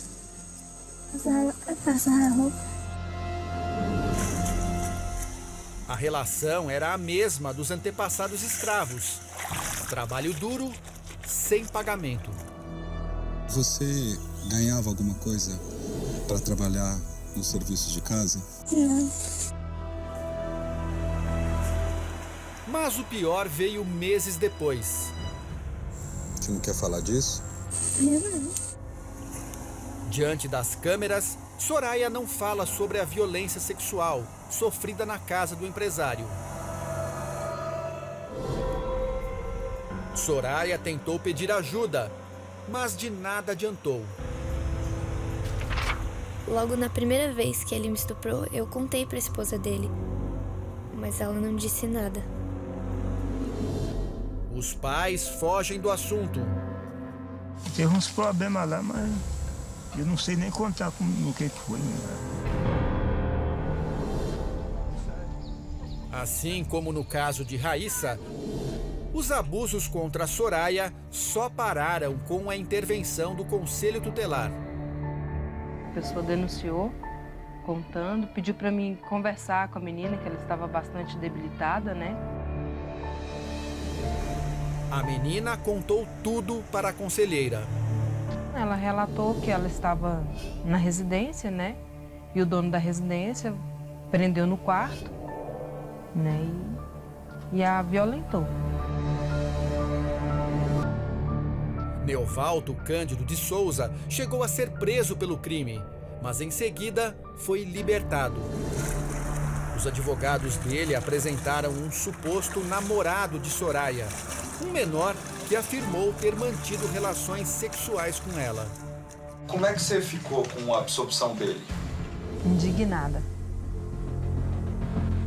E desmotivada. A única promotora que trabalha na região também ficou inconformada com a absolvição do empresário. Para ela, a ausência de um juiz no município contribuiu para a impunidade dos agressores. Um fato foi determinante para a absolvição do empresário. Dias depois de ter denunciado o crime, Soraya surpreendeu a todos e voltou à delegacia. Em depoimento, afirmou não ter tido relações sexuais com ninguém. Não tenho como provar, né? Mas houve algo que, que, que não se encaixa aí. A desconfiança da conselheira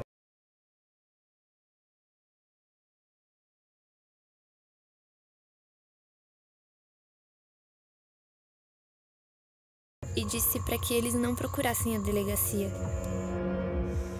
Meu pai disse para que eu mentisse no depoimento, para o Neovalto não ser preso.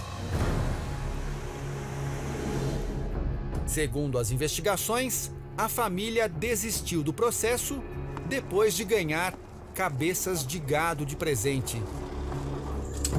O pai de Soraya nega. Ele ofereceu dinheiro ao senhor, não? Um caso mal explicado, sem solução. Como tantos outros que os moradores do Quilombo se acostumaram a ver. Vamos atrás dos homens acusados de estuprar as meninas do Quilombo.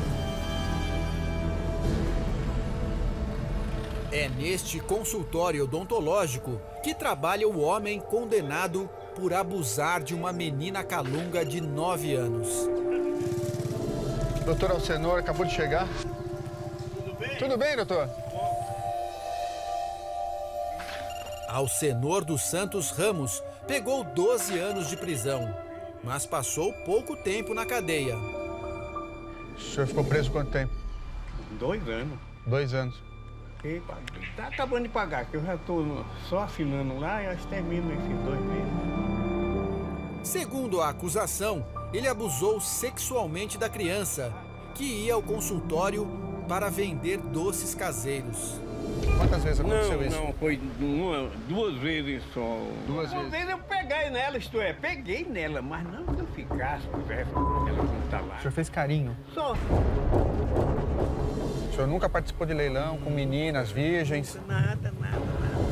Alcenor afirma que não era o único a se relacionar com a garota. Então ela, ela era abusada por um monte de outras pessoas? Mas muitos outros, viu? Muitos outros. E chega a zombar da menina. Ela era bem bonitinha. Bonitinha, hoje é a coisa mais feia que existe no mundo. Alcenor não acredita na prisão dos outros acusados. Para ele, o abuso sexual é normal na região. Toda a vida aconteceu isso aqui. Só que no caso dele, a punição chegou.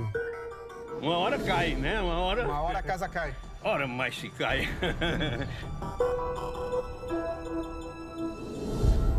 Fomos atrás dos outros acusados de estuprar as meninas do Quilombo. O vereador Jorge Cheim responde pelos abusos contra a menina Raíssa.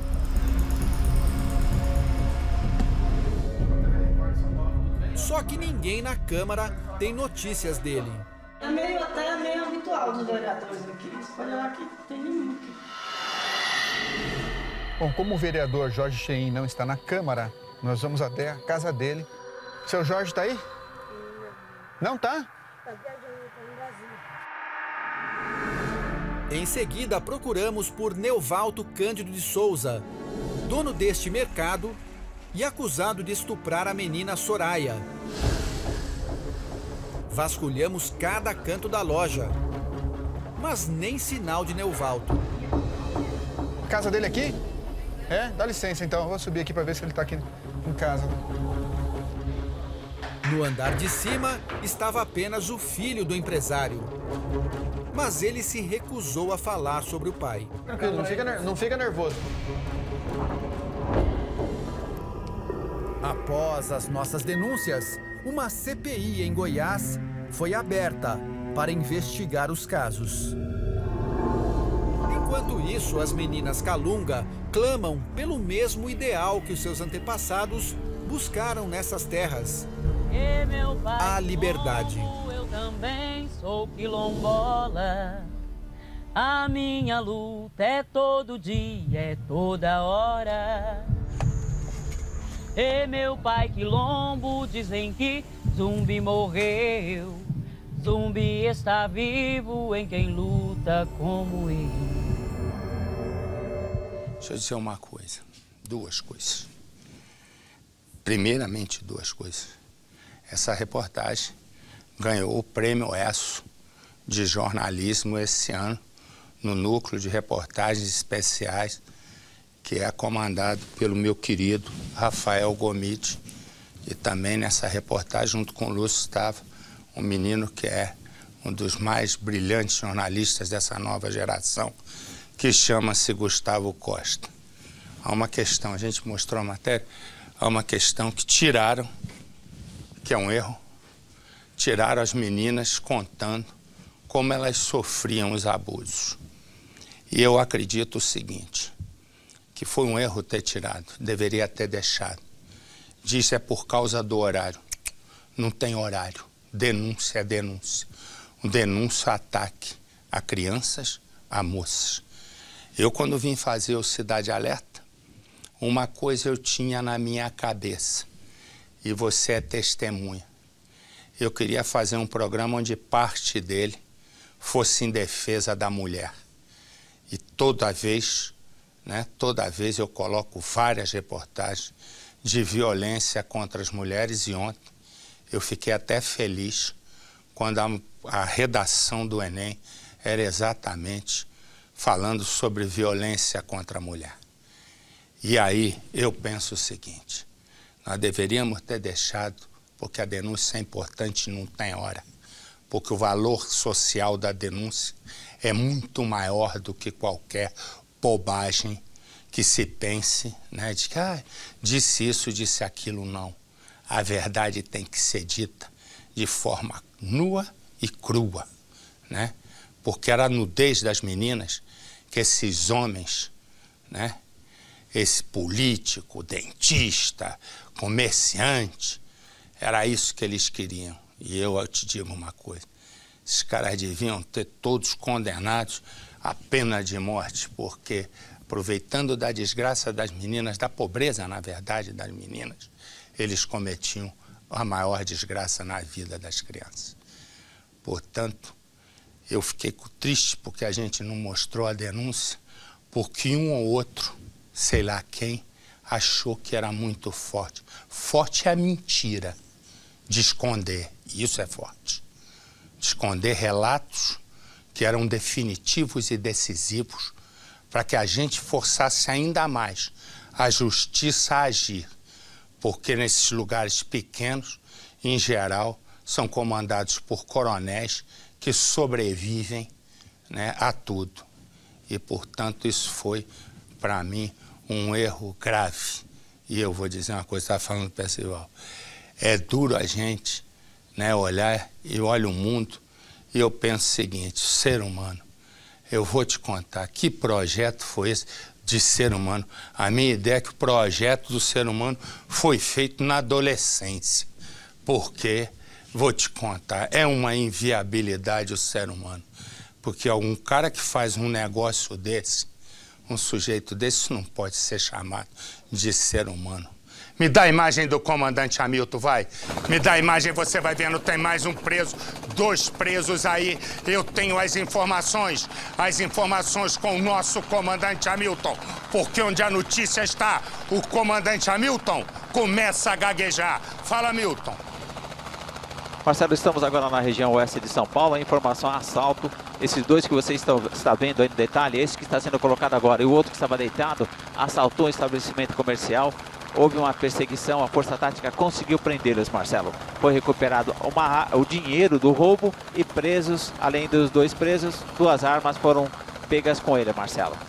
Você olha a vidinha do Hamilton. Olha a vidinha mansa do Hamilton. Ele fica sentadinho, olhando lá de cima, o lente travada. O lente travada é quem trabalha e ele ali, passeando, vendo São Paulo de cima. E ele chama isso de emprego. Eu vou contar, eu nunca vi ninguém ganhar tanto pra gaguejar tanto e passear Senta aqui, tanto. Marcelo. Hã? Do nosso lado. Senta aqui do nosso lado. Sou homem, comandante. Vou sentar, comandante. Sou homem, rapaz. Aqui no banquinho, Marcelo. Ah, Calma. vamos sentar Ah, aqui, Marcelo, sou homem, rapaz. banco. Tá me estranhando, rapaz? Esse é o nosso comandante Hamilton. Dá um adeus pra gente. Dá um adeus. Ô, Marcelinho. É- Vamos passear. É dar adeus com as duas mãos, dá adeus com as duas mãos. Aí não dá, né, meu Não dá? amigo? Não ah, dá. que pena. Me dá a imagem do bêbado. Vamos, vamos, vamos, vamos. Vamos, meu filho. O homem que você tá vendo. Ali, ó, como é que. Tá vendo ele completamente bêbado? Ele veio com tudo, olha lá. E atropelou três pessoas, foi preso. Mas só ficou dois dias na cadeia. Põe no cidade.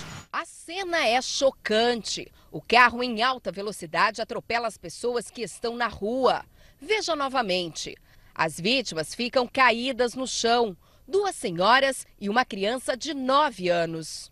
Tudo aconteceu nesta avenida, a principal do bairro Passo da Caveira. A gente vê, olha só, que é uma descida e foi daquela direção que o carro veio em alta velocidade. Desgovernado, de acordo com testemunhas, o motorista ainda saiu da pista e foi naquela parte ali, que é cheia de entulhos. Depois retomou e seguiu até bem ali onde está o caminhão.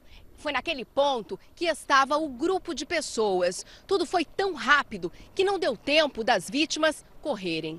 O motorista Marcílio Cantes Machado, de 43 anos, estava bêbado e tentou fugir, mas foi impedido pelos moradores revoltados e acabou preso.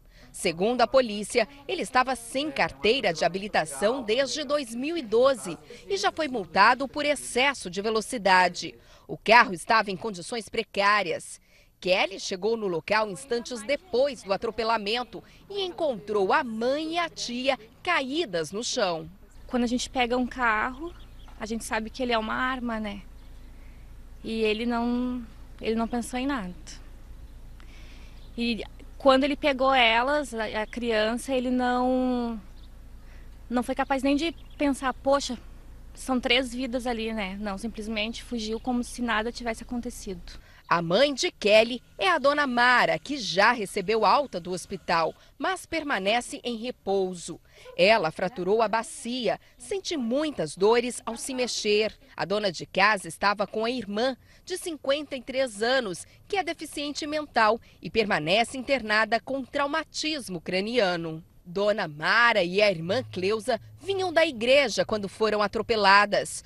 Tudo aconteceu a poucos metros da casa onde moram.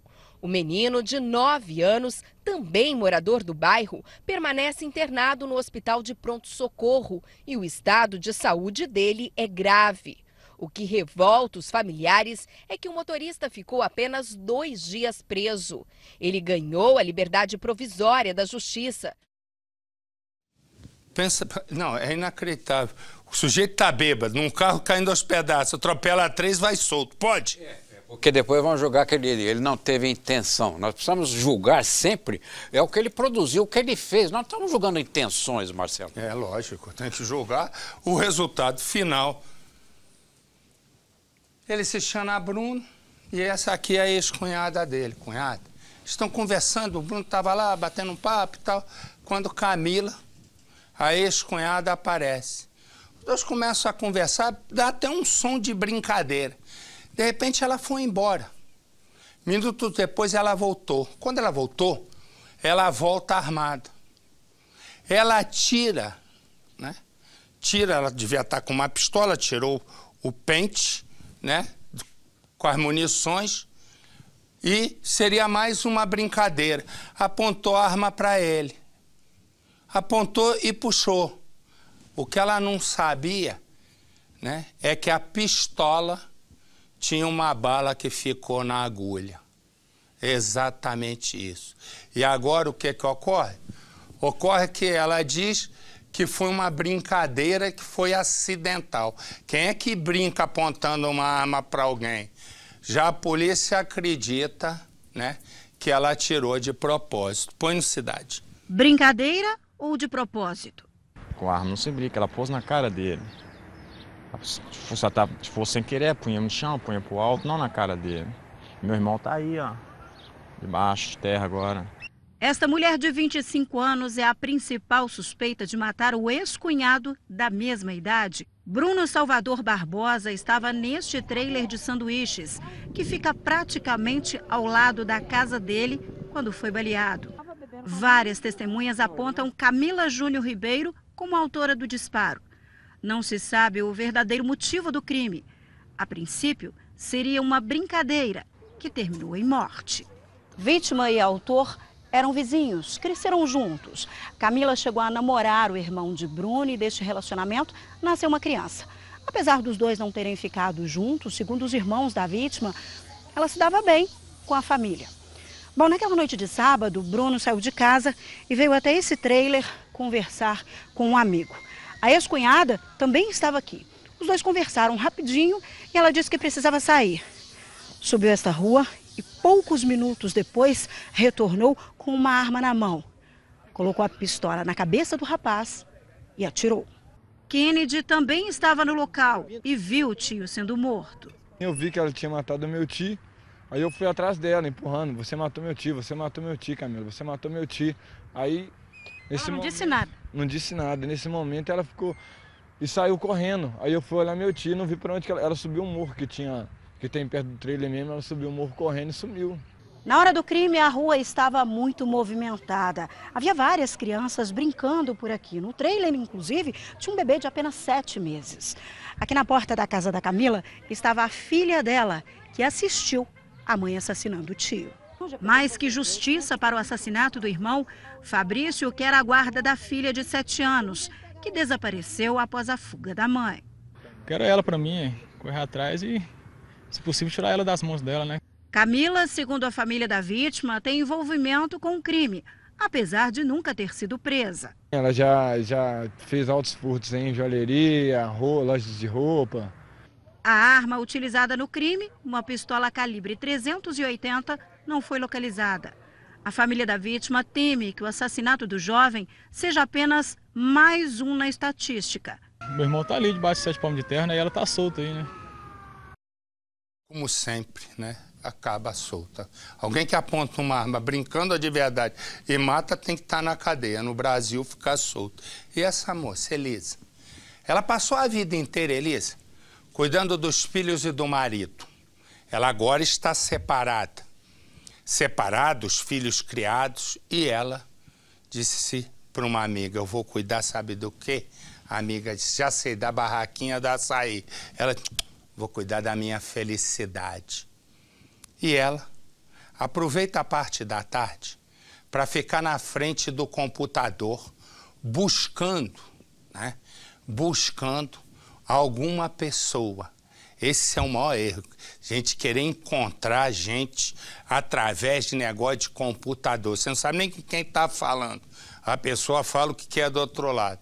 Resumo, ela aí diz para uma amiga: hoje à noite eu tenho um encontro. Aí a amiga: é mesmo? É, hoje à noite tem um encontro. O que, que aconteceu? Não teve encontro nenhum. O filho dela, que é policial militar, passou na casa da mãe e a encontrou morta. Imediatamente a polícia o colocou como suspeito e também o ex-marido e pai dele como suspeito.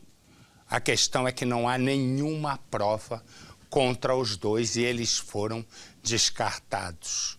Agora é saber com quem ela ia ter o tal encontro. E se o encontro não foi um encontro com a morte. Põe no cidade. Um ex-marido, um guarda civil metropolitano há 28 anos na corporação. Um homem que foi suspeito de matar a ex-mulher. A justiça não, resolve nada. Os primeiros suspeitos foi eu e, e meu filho. José foi casado por 25 anos com Maria Elisa Alberto Frias, de 52 anos. O casal teve dois filhos, Leandro, que é policial militar, e Gláucia, a caçula da casa. Do que um dia foi uma família feliz, um crime marcou com tristeza e deixou um rastro de violência. Elisa foi assassinada com golpes de faca. Entre os suspeitos, o ex-marido e o próprio filho. José garante que é inocente. O que mais dói é, não é ser, ser suspeito, não é que isso é normal. Isso é normal. Tem pessoas que vivem isso aí. Eu tenho certeza que ali, vizinhos, pessoas que vivem, eles não precisam aparecer. Eles dão denúncia anônima, fala quem que é, que eu quero ver é, essa pessoa na cadeia, ele tem que pagar. Porque ele tirou ele deixou dois, dois, dois filhos sem mãe. A polícia não teria encontrado provas que incriminassem José e Leandro. Pai e filho teriam conseguido comprovar onde estavam no momento do crime. Ele conta que o filho tinha trabalhado toda a madrugada de plantão e, quando chegou em casa pela manhã, encontrou o corpo da mãe no quarto dela e imediatamente ligou para o pai, que já não morava mais com a família desde a separação do casal. A casa estava revirada e vários objetos foram levados. Uma pessoa que não tinha inimizade com ninguém, né? Uma pessoa boa, a boa mãe. Infelizmente, o casamento acabou, né? Mas a amizade a gente mantinha uma coisa. Nunca houve briga, discussão, nada. Ela precisava de mim, eu estava lá dando assistência e tudo. José reclama da falta de informação que ele e a família teriam tido sobre as investigações do crime e que a polícia não teria chegado a nenhuma conclusão sobre quem seria o assassino da ex-mulher. É, pra gente tocar a vida, a gente precisa ter uma solução, né? A gente saber o que, o porquê. A polícia acredita que a morte de Elisa foi premeditada e o assassino alguém que teria feito de tudo para ficar no anonimato, que realmente está até hoje. Uma das poucas conclusões que a investigação teria chegado é que o assassino ou a assassina seria alguém próxima do relacionamento da vítima. Isso porque a pessoa, para entrar na casa, teria que ter ou a cópia ou teria entrado com a autorização dela. Quem tinha a chave da casa? A chave da casa tinha eu, minha filha, meu filho e ela. Só nós quatro. Elisa morava com os filhos nesta casa que era alugada em Mauá, na Grande São Paulo. Na casa ao lado, ninguém teria ouvido nada na madrugada do crime. As pessoas que alugavam o andar debaixo do sobrado também disseram que não ouviram nada estranho. Nem pedido de socorro, nada, nada, nada. Não deu para ouvir nada. O delegado do caso disse na época que encontrou uma luva cirúrgica que teria sido usada no crime na rua atrás da casa, com o mesmo lote de uma caixa de luvas que estava no quarto de Leandro, o filho policial da vítima. No dia do crime, por volta de 9 horas da noite, o José, como fazia sempre, telefonou para a ex-mulher. Ele estava em uma pizzaria aqui na cidade e ligou para saber se ela também queria um pedaço de pizza. E ela, e ela respondeu que não. Só respondeu isso. Mas o, o não deu para perceber nada que estava acontecendo. A voz dela até esse momento era uma voz normal, como sempre, ou já aparentava algum tipo de preocupação, que queria desligar rápido, alguma coisa nesse sentido? É, ela é normal, né? Que o geral a gente não, como eu, eu não falei muito de telefone, né? Se tá, só tá precisando de alguma coisa e tal, ligar, mas tava normal. Até esse momento que eu falei com ela, tava normal. Segundo a polícia, Elisa teria confidenciado para uma amiga por meio da rede social que na noite do crime ela tinha um encontro marcado. Ela não teria revelado com quem e nem para onde eles iriam, mas disse que estava feliz, que iria se divertir. Das poucas informações que a investigação conseguiu chegar, sabe-se que Elisa estaria se arrumando realmente para sair porque ela estava maquiada. Cerca de três meses antes do crime, Elisa tinha conseguido abrir um negócio, uma loja de açaí, como mostram essas fotos. Agora, o seu José, ele estava separado já há cinco anos, mas ele frequentava a casa da ex-mulher. Ele me disse, inclusive, que eles eram muito amigos. Conversavam até mesmo sobre o assunto relacionamentos. Ela teria conhecido alguém pela internet, por uma rede social, teria se encontrado algumas vezes com essa pessoa, até mesmo namorado, e depois esse relacionamento teria chegado ao fim. E segundo José, ele mesmo teria dito para a mulher tomar cuidado com essas pessoas que conhece pela internet. O senhor conversou isso com ela? Conversei, falava muito, toma muito cuidado com a internet, é muito perigoso. É, às vezes ela. Eu, quantas vezes eu chegava, às vezes passava lá, tipo 9 horas, uma vez eu cheguei duas vezes, a porta dela era muito desligada, né? Ela, ela confiava demais. A polícia e a família sempre acreditaram que o assassino seja alguém próximo da vítima.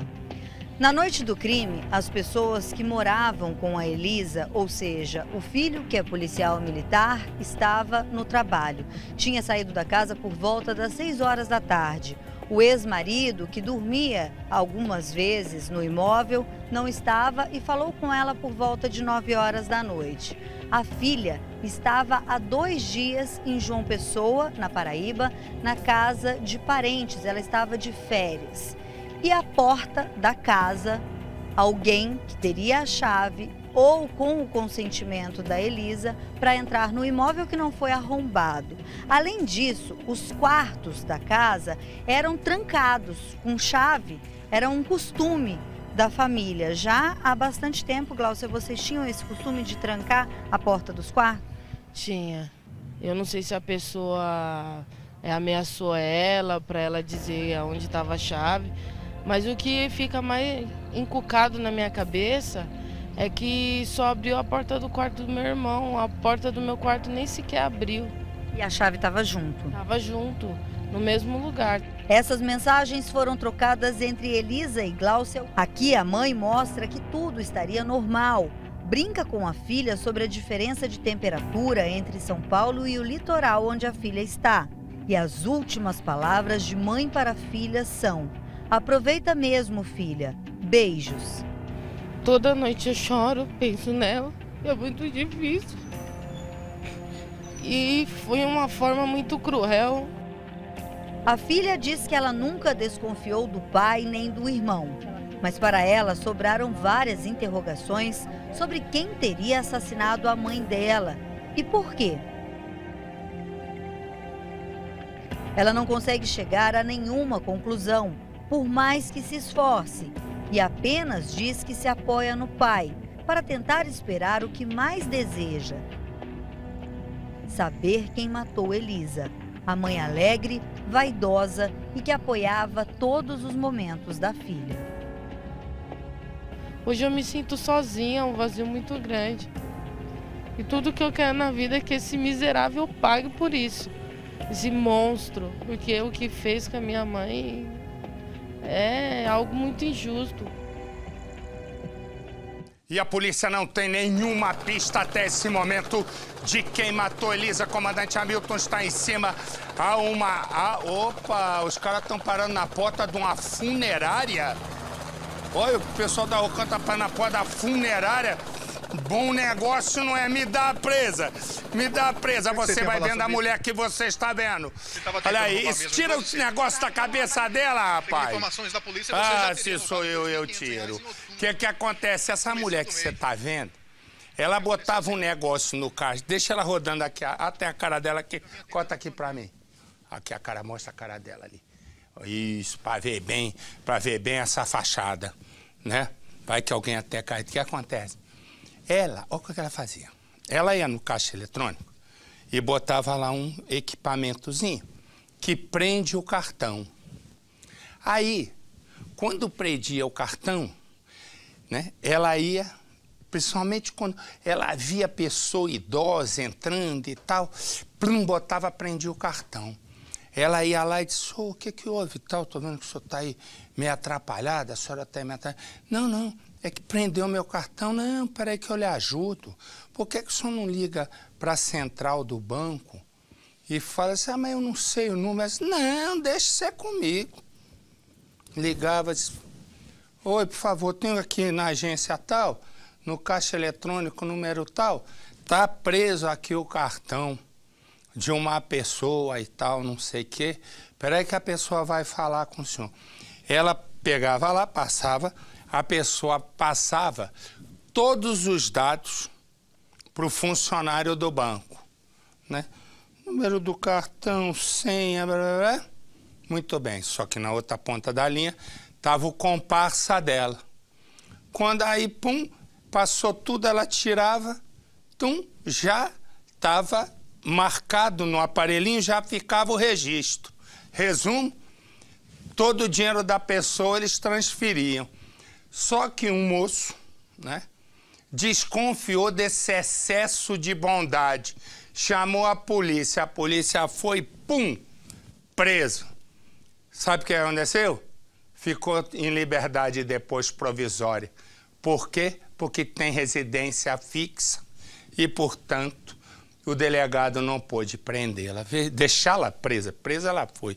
Põe no cidade. Cirlei Cristiane Mendes Lima, de 32 anos, foi presa em flagrante. Segundo a Polícia Civil, ela aplicava golpes em idosos com dificuldade de utilizar os serviços de caixas eletrônicos deste supermercado na Avenida Garibaldi, em Salvador. De acordo com as investigações, Cirlei instalou em um caixa eletrônico um aparelho conhecido como chupa-cabra. Quando alguém ia utilizar o equipamento, o cartão ficava preso. Aí Cirlei aparecia e oferecia ajuda. Ligava do próprio celular para um comparsa, que fingia ser funcionário do banco, que coletava os dados do cliente, inclusive a senha. Depois disso, Cirlei fazia transferências para a conta dela. As vítimas sempre eram pessoas mais velhas. Neste extrato é possível ver o valor de uma das transferências feita pela suspeita, R$ 2.658,37. Mas na semana passada, ao tentar aplicar mais um golpe, a fraude foi descoberta. A vítima, um senhor de 80 anos, desconfiou do excesso de bondade da mulher. Chamou um segurança do supermercado que ligou para a polícia.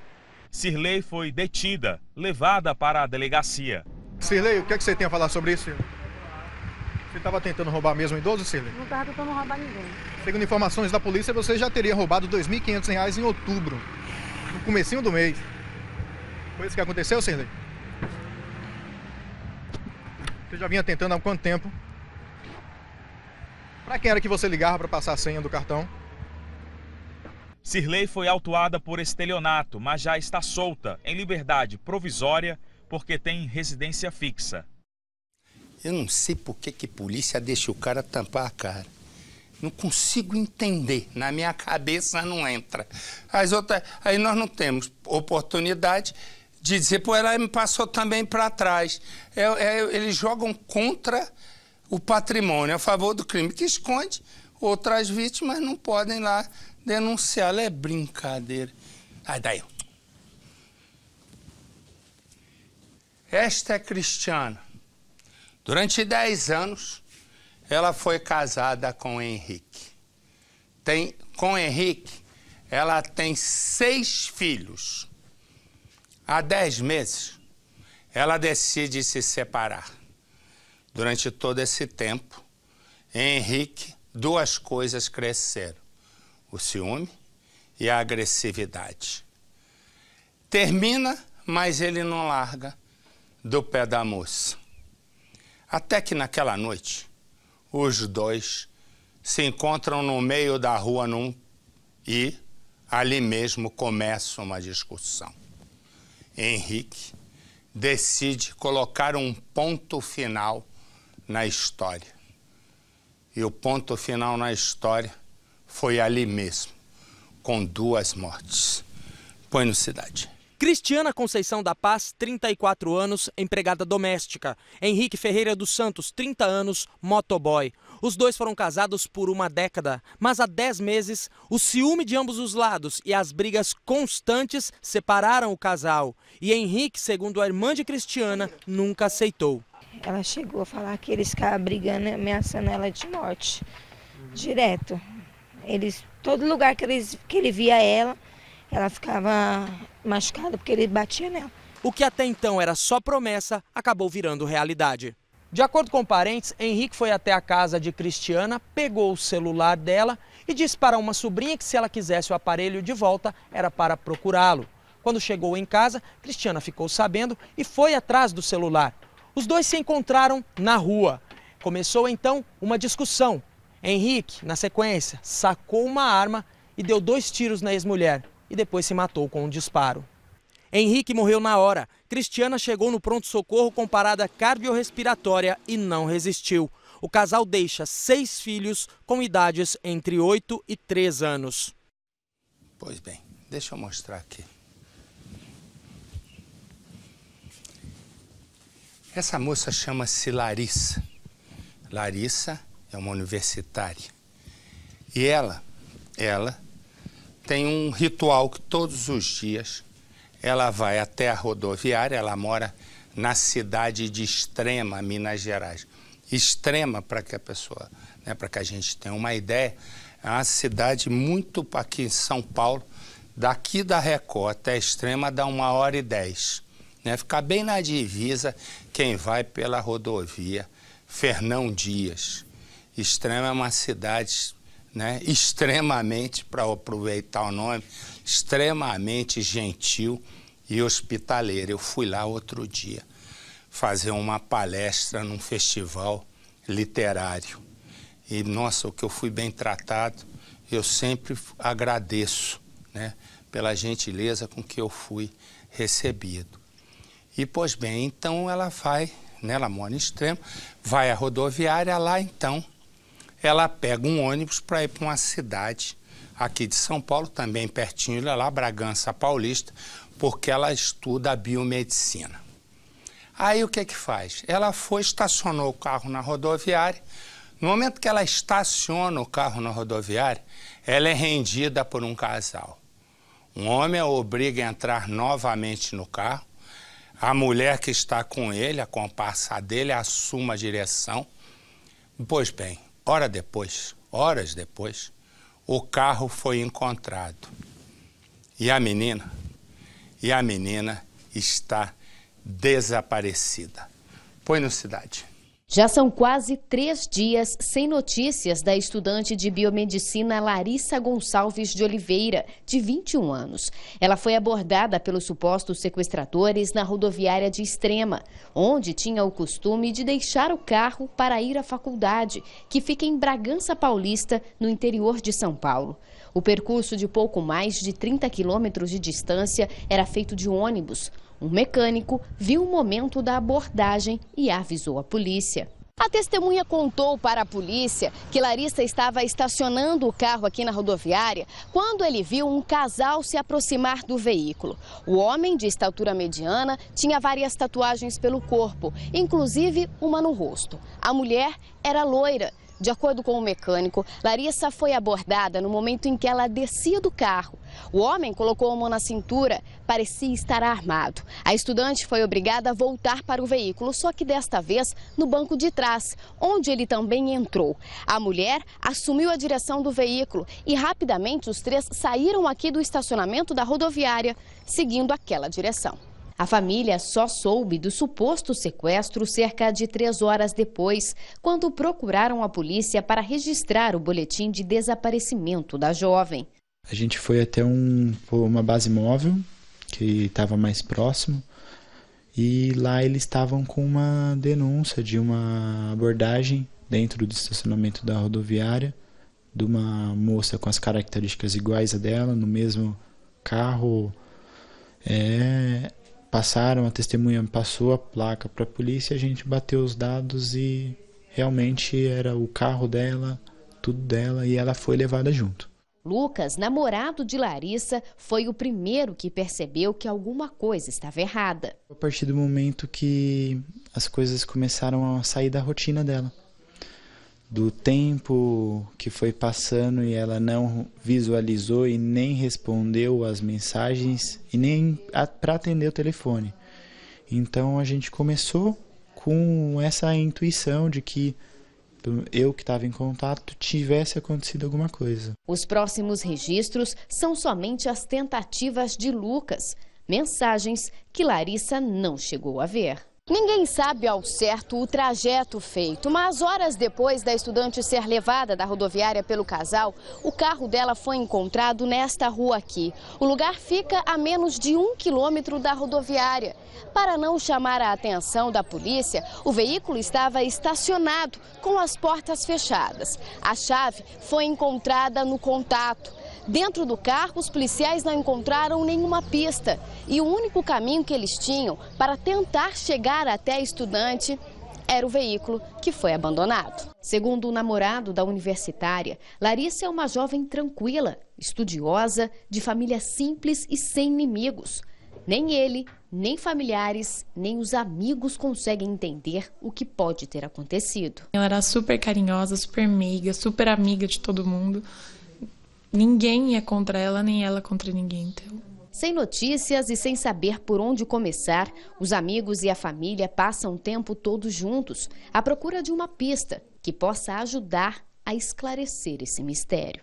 ao mesmo tempo que bate preocupação, essa sensação de, de vazio, de, de o pior é você não ter um contato, você não ter uma linha, a gente não ter uma linha de raciocínio para partir uma busca.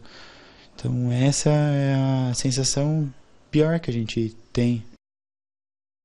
E esta é a imagem da moça que está desaparecida e que a polícia também trabalha com raciocínio de sequestro. Se você viu essa moça, se você conhece essa moça, se você sabe onde ela está, ligue. Ligue para o Disque Denúncia. Ligue para a polícia. E a sua identidade vai ser mantida no mais absoluto sigilo. Corta aqui para mim. Aqui. 63 anos tem este cardiologista.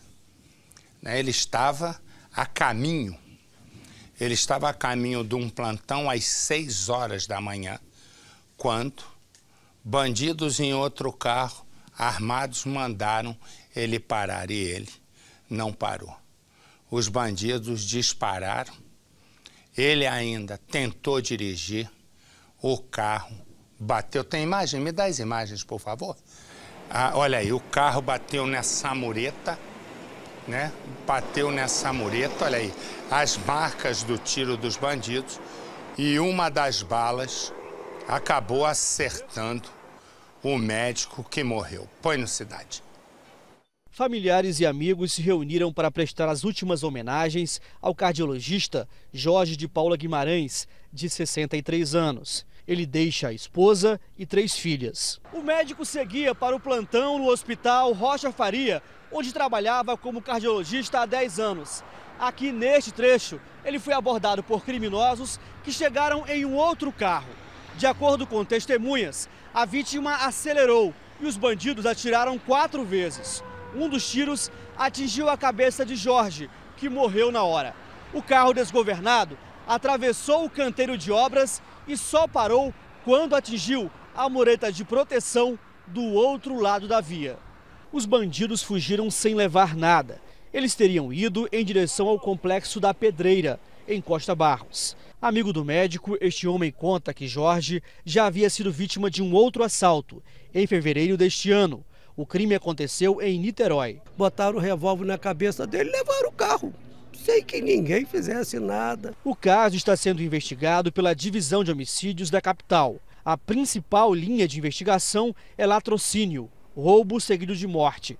Os agentes realizam diligências e estão em busca de imagens de câmeras de segurança que possam ter flagrado a ação dos criminosos. Jorge era um homem alegre e um excelente profissional. Em 2004, a Assembleia Legislativa concedeu a ele o título de Benemérito do Rio de Janeiro, justamente por se destacar como grande cardiologista. O lazer dele era ler, estudar. Né, dentro da casa dele, junto com a família. E mesmo assim, esse homem perde a vida indo para um trabalho. Trabalho que provavelmente estava lá para ajudar a salvar a vida de muitos desses bandidos, né, os companheiros deles que tiraram covardemente a vida dele. Verdade. Me, me dá a imagem que chegou agora, me dá a imagem do circuito. Repara, esse carro aí do empresário, ele entrou na rua de uma fábrica, né? Uma fábrica de esquadrias dele. Tem esse carro que vem logo atrás, repara. Sujeito vai, mostra uma arma, ele salta, ele já está ferido, ele está armado também. Repara que ele atira nos bandidos que fogem, é uma execução. Repara, e ele já está caído, né? Ó, ele chega com o carro, essa fábrica é a dele, o bandido encosta, vão ser seis disparos. A gente vê, ó, eles atiram com uma pistola e se você reparar um aspecto ali no tiro que é interessante que eu não tinha visto. Repara, ele também atira. Ele atira, mas ele vai ficar por ali mesmo com sentido. Quando eu mostra a imagem, quando eu pedi para parar, quando eu pedir para parar, você frisa aí, Edu, fica ligado em mim. Repara, vai andando, ó. Quando inverter. Aí, parou. Volta, volta no ar mesmo. Volta no ar mesmo. Aí, ó. Repara. A mão, põe aqui. E põe aquele negocinho que eu risco aqui. Repara aqui o seguinte. Repara. Aqui, ó, a mão. Tá vendo a mão? O sujeito atira como profissional. Ele não atira como qualquer coisa. Repara que ele tá com uma pistola, a mão esquerda tá por baixo, dando o apoio, e repara que é o motorista quem vai atirar. O cara, para ser o motorista que vai atirar, é que ele tem absoluta confiança no que ele vai fazer. Repara exatamente, ó. Ó, repara aqui, ó. Ó. A mão dele. A mão dele está apoiada para quê? Para que ele tenha posição de tiro. Ele vai, encosta o carro e atira com a mão em posição de tiro, coisa de profissional. Põe no cidade. As imagens gravadas por câmeras de segurança da empresa da vítima mostram um carro branco parado na esquina. O veículo permanece ali por alguns minutos até que o carro do empresário passa e estaciona na calçada. O criminoso vem logo atrás em baixa velocidade, abaixa o vidro do lado do motorista e faz os disparos. Por essa outra câmera, é possível ver Rildo José Brandão, de 42 anos, saindo do carro e caindo no chão. Ele pega a arma na cintura. A vítima consegue atirar, mas o criminoso vai embora. Em seguida, várias pessoas correm para ajudar. Esse aqui é o carro onde o Rildo estava. O veículo foi atingido por vários disparos. Olha só, um, dois, três, quatro, foram cerca de 12 tiros. Segundo a família, o empresário também foi atingido por seis tiros. Ele chegou a ser levado com vida para o hospital, mas acabou não resistindo. Gilmar conta que o irmão já havia sofrido quatro.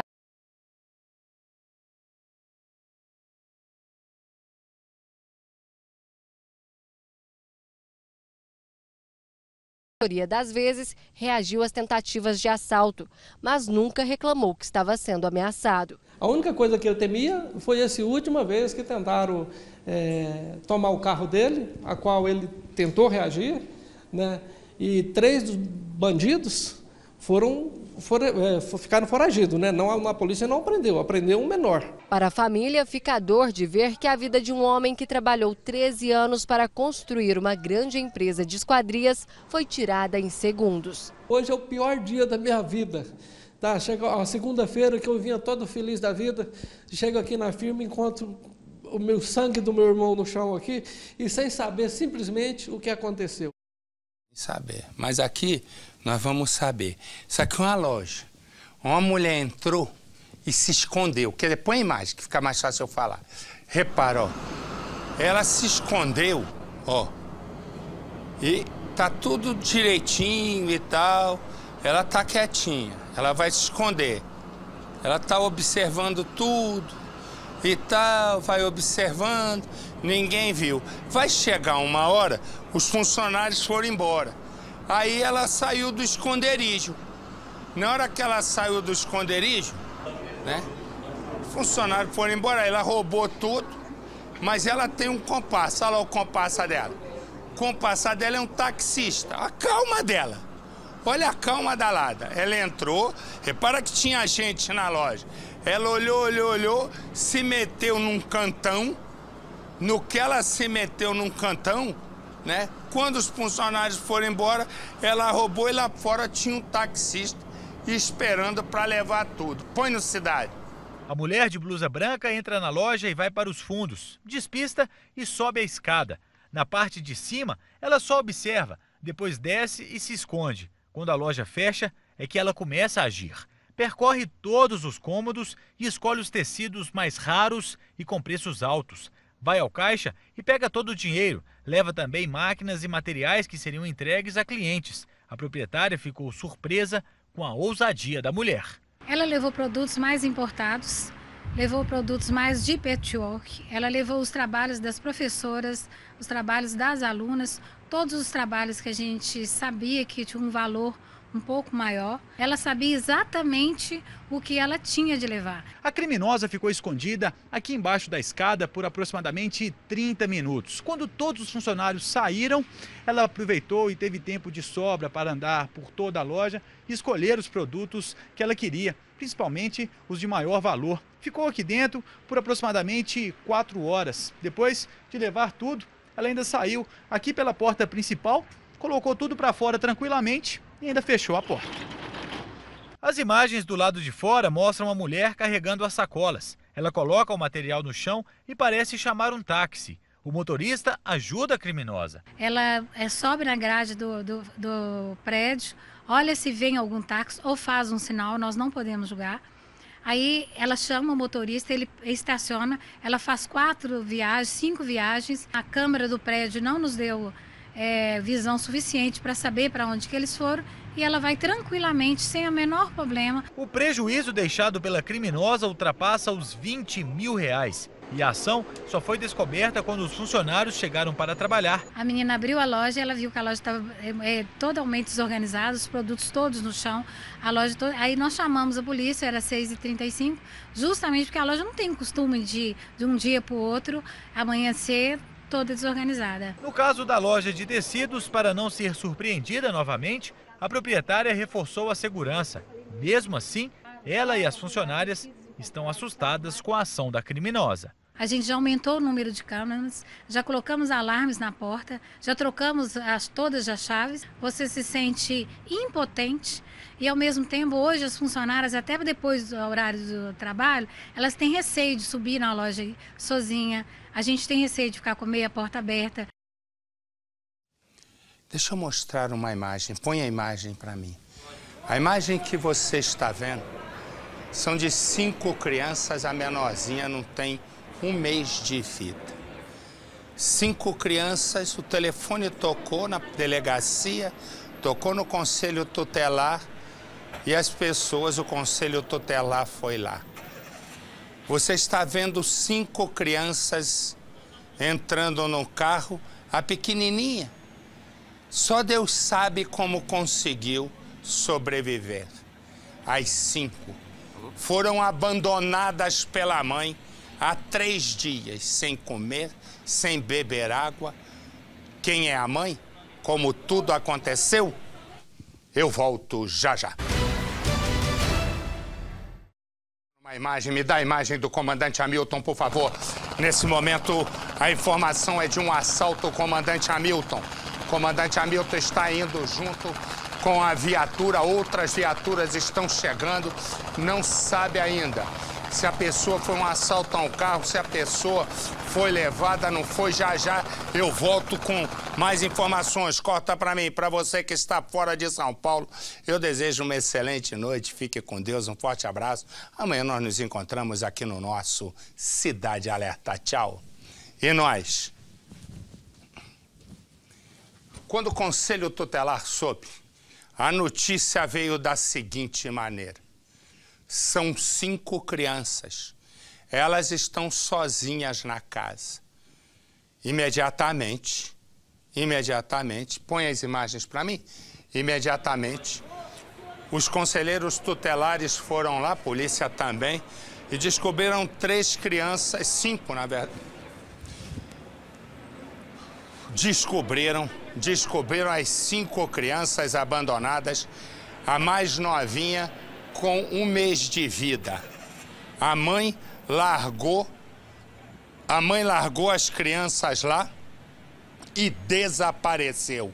Põe no cidade. Do lado de fora parece uma casa abandonada. E quando entramos, a impressão é de que ninguém morava aqui havia muitos anos.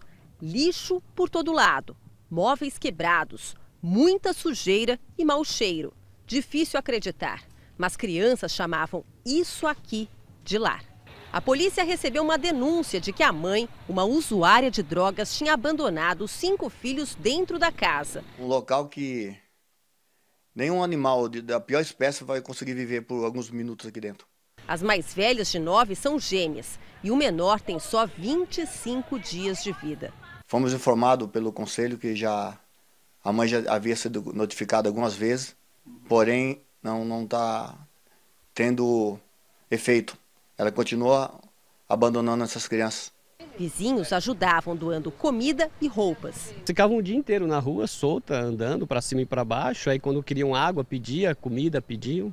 Desde que a mãe sumiu, as mais velhas cuidavam das mais novas. Criança cuidando de criança, igual eu te falei, eu de três anos estava com outro no colo eu pensei que era um boneco. Geladeira vazia, panelas sujas, sem nada no fogão, mamadeira com restinho de leite, sinal de que passavam fome.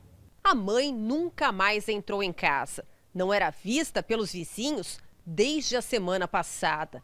As cinco crianças conseguiram sobreviver em meio a todo esse lixo, apesar da fome, do frio e do abandono.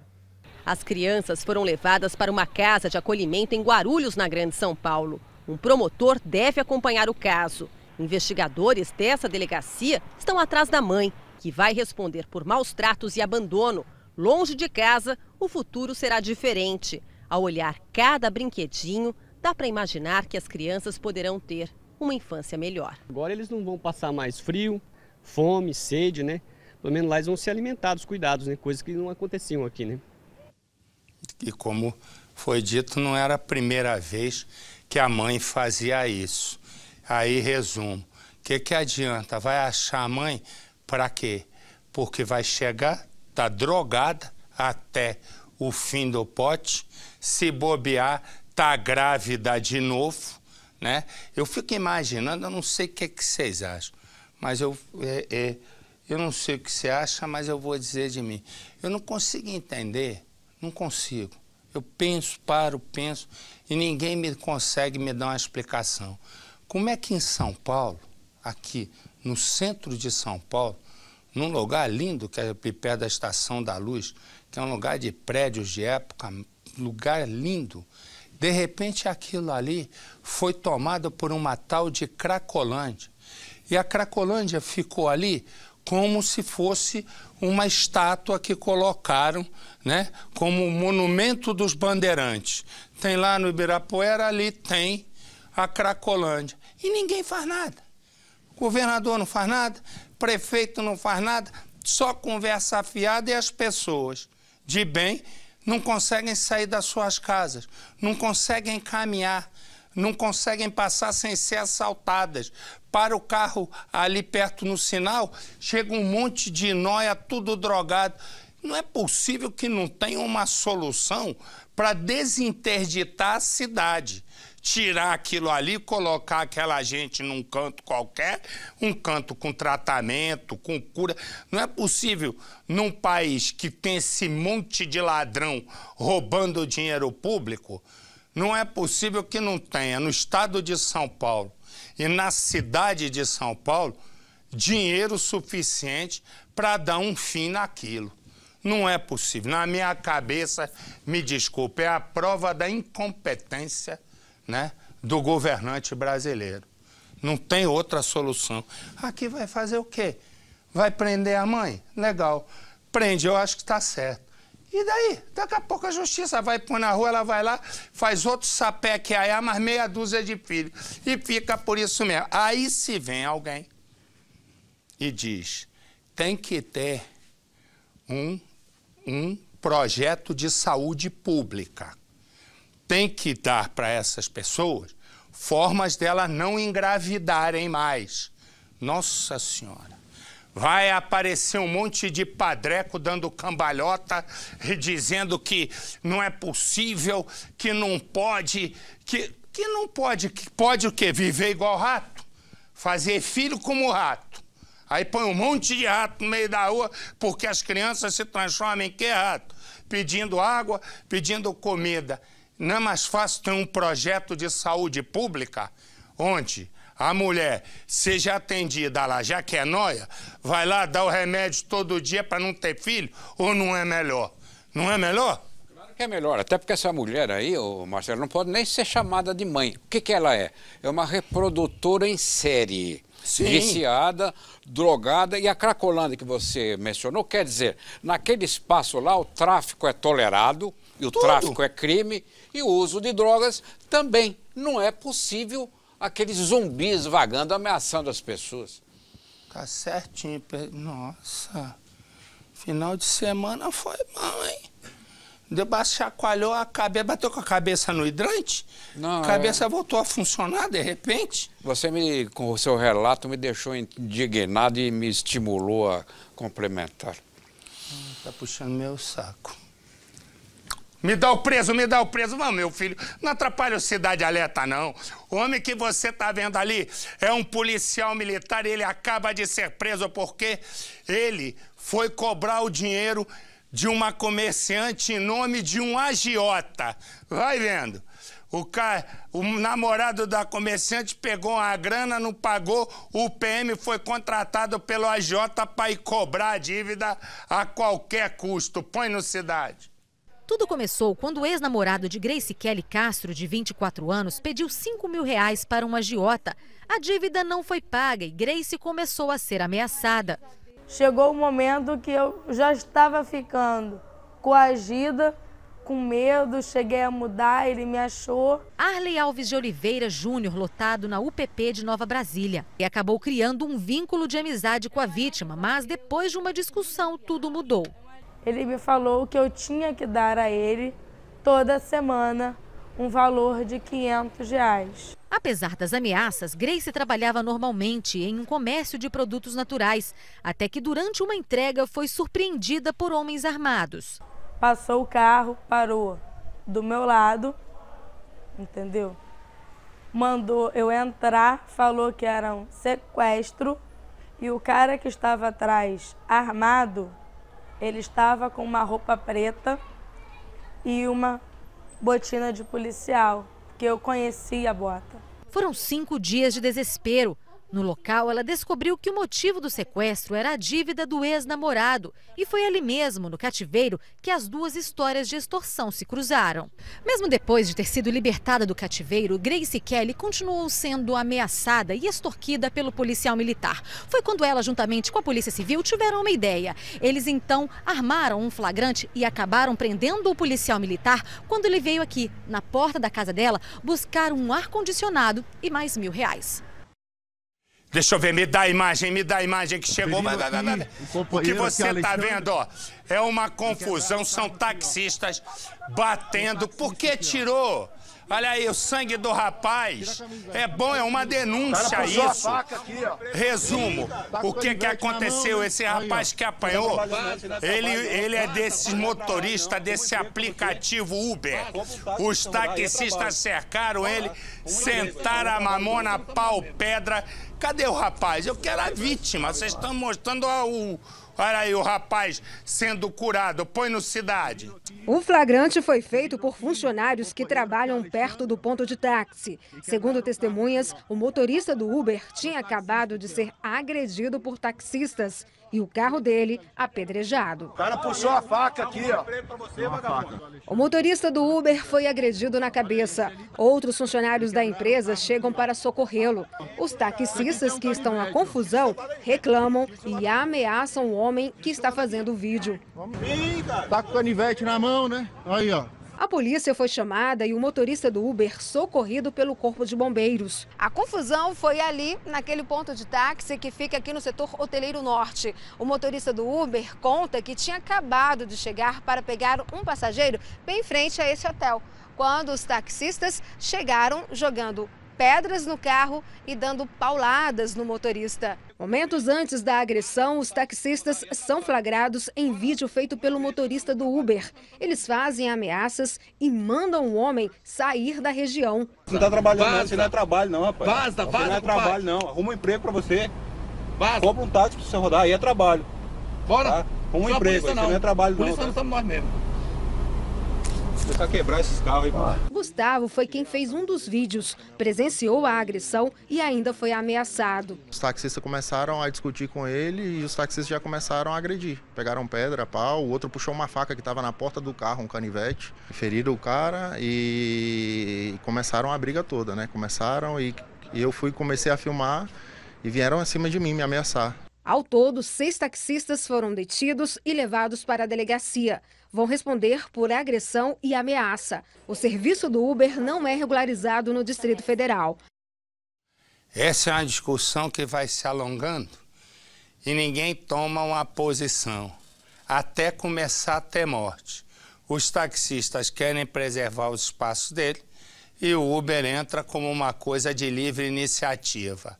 Os taxistas gastam uma grana para ter um táxi e o Uber entra com o aplicativo. Se ninguém der um final nessa história, escuta o que eu estou dizendo, que vai acontecer, né? Vai acabar acontecendo morte, porque cada vez a temperatura está mais forte. Você é contra ou a favor do Uber? Eu acho que é um. A gente tem que pensar no, no, interesse do consumidor. O consumidor tem que ser consultado. Se ele prefere um táxi diferenciado, ele tem todo direito. Eu acho que isso aí deve ser priorizado como legislação. Quem manda nisso, Marcelo? O município ou a União? Não se definiu isso ainda. Não se decidiu. Mas você tem que levar em consideração uma coisa. Eu estou de acordo contigo, o serviço de táxi no Brasil é muito ruim. Mas o preço que um taxista paga para ser taxista hum. não é fácil, não. Para entrar, o que deveria fazer, se é para ter isso, minha cabeça, é o seguinte: ok, tem que é Uber, ok. Manda o seguinte: devolve toda a grana que os taxistas deram para pagar licença, para pagar isso, pagar aquilo e tal, e todo mundo vai competir igual. Agora, tem um lado que eu acho injusto. Os taxistas gastam uma grana violenta para manter um táxi, entra um aplicativo que corre por fora. Eu entendo que tem que privilegiar é o consumidor, mas tem que ter uma regra para um lado não ser prejudicado. E nesse caso, é né, muita grana que um taxista gasta. Falar em grana, a grana continua rolando solto, né? Em negócio de bingos, né? Os bingos que são proibidos no Brasil há mais de 10 anos. Eu não consigo, e continuam funcionando, né, clandestinamente em várias capitais e tal. Resumo, mas eu não consigo entender uma coisa, por que, que o bingo é clandestino? Porque o Brasil é uma jogatina só, né? O Brasil é uma jogatina. O governo, o governo explora loto, loteria, é, sei lá mais o que, é, negócio de cá, como é que é o nome? Bilhete. Como é nome aquele bilhete premiado? Bilhete, sei lá o que, da sorte grande, né? Raspadinha, raspadinha, o governo explora tudo, né? Por que que não tem um cristão nesse lugar que raciocine o seguinte, o Brasil tem uma costa gigantesca, né? Gigantesca. Tem um sertão todo gigantesco, por que não pode liberar o jogo? Porque quem gosta de jogar atravessa, atravessa 200 metros do Brasil para o Paraguai ou para a Argentina e joga à vontade, gasta o dinheiro lá. Ou os mais ricos tomam avião. Eu não consigo entender como é que um país com toda essa possibilidade e agora com esse desemprego absoluto fica com um negócio que foi regularizado em 1954, se eu não me engano. Quer dizer, enfim, nos anos 50. Como é que pode você não evoluir? Vai dizer o seguinte, que o cara que joga não vai jogar? Pô, toda hora pega um cassino clandestino aqui, põe no cidade. As casas de bingo clandestinas ficam em locais discretos. Neste, nosso produtor espera a chegada do segurança e se apresenta. Lucas, meu nome. Lucas? Isso. Aqui, só quem sabe o que tem lá em cima sobe a escada do sobrado. Durante quase um mês, visitamos mais de 10 bingos clandestinos em São Paulo. Para entrar, é preciso indicação. Conseguimos frequentar cinco deles, que funcionam a semana inteira 24 horas por dia. Na rua Itapeti, no bairro do Tatuapé, a recepcionista explica por que tanta precaução. Eu vim ontem. Até desculpa a gente te deixar assim, mas é para segurança nossa, tá? Vai lá, meu amor, boa sorte. Lá dentro, as salas são escuras e a música é alta. Só as máquinas caça-níqueis e a geladeira de bebidas gratuitas iluminam o ambiente. Um dos apostadores nos conta que está lá há poucas horas. Ele tenta ganhar o prêmio de 10 mil acumulado em uma das máquinas. Em algumas, o valor acumulado passa de 40 mil. Eu tive oportunidade de recuperar tudo. Um outro apostador reclama que está sem sorte. Conseguiu alguma coisa boa? Nada. É mesmo? Nota tá muito ruim. Na saída, uma das funcionárias pede para nosso produtor deixar o nome e o número de telefone. Ela quer avisar sobre os prêmios da casa. Você me manda mensagem? Mando. Que aí... Agora já tenho, tá? Tá. Se Sem tiver, problema, a bateria né? tá Pode no... mandar mensagem normal. de Segunda a sexta eu mando. Beleza. Sábado e domingo eu não mando, tá? Tá bom. Que aí quando eu Mas tem chegar... sempre premiações, sempre sorteio. Saímos da zona leste da cidade de São Paulo e vamos para a região central. Na Rua da Glória, bairro da Liberdade, funcionam vários bingos. A concorrência é tão grande que um dos seguranças pesca nosso apostador na calçada. Repare no reflexo da vitrine da loja. Ele presta atenção na conversa e se aproxima. Da Jussara, sabe a medida? Bingo da Jussara? Quem? Da Jussara, com espinha. Eu tenho treino. Ah, tá. Ah, e aí? Beleza? E aí? Dá pra ir lá? O segurança nos leva até o bingo, que fica no terceiro andar de um prédio, onde também funcionam escritórios e consultórios. Pegou ele na rua? Tava lá na Vilma. É? Tava na concorrente. Pegou no colarinho? Lucas. Opa, legal. Apostamos algumas vezes, mas não ganhamos um real. Em outra casa, lá perto, o segurança desconfia da senha que passamos e não autoriza a nossa entrada. Opa, a Carla. Carla? Isso. Que é moreninho? Carla, Carla, Carla. É? Para não chamarmos mais a atenção, mudamos de bairro. Fomos até um bingo tradicional na Avenida Adolfo Pinheiro, em Santo Amaro, zona sul de São Paulo. Uma lona preta impede que a casa seja vista do lado de fora. Aqui é só chegar e apostar. Para jogar, é exigida uma aposta mínima. Um mínimo 50. O salão está lotado. As poltronas confortáveis pertenciam a uma antiga casa de bingo na região da Avenida Paulista. 38, 39. Enquanto isso, uma casa do mesmo tamanho acabava de ser fechada pela PM em Franco da Rocha. Cerca de 50 pessoas jogavam. O dono da casa foi detido. Esta mulher faz tratamento psicológico no Hospital das Clínicas em São Paulo por causa do vício em jogos de azar. Ela gastou tanto dinheiro em apostas que perdeu o único apartamento que tinha para morar. Eu não tinha outra opção, não tinha outra opção. O meu salário é, não, não, não, não dava conta, porque eu não consegui parar, eu continuei jogando. Aí quando eu parei, falei, não, chega, eu fiquei muito doente, fiquei bem doente, eu falei, não, vou vender o apartamento, vou né, liquidar todas as minhas dívidas e vou, vou viver minha vida sem jogo.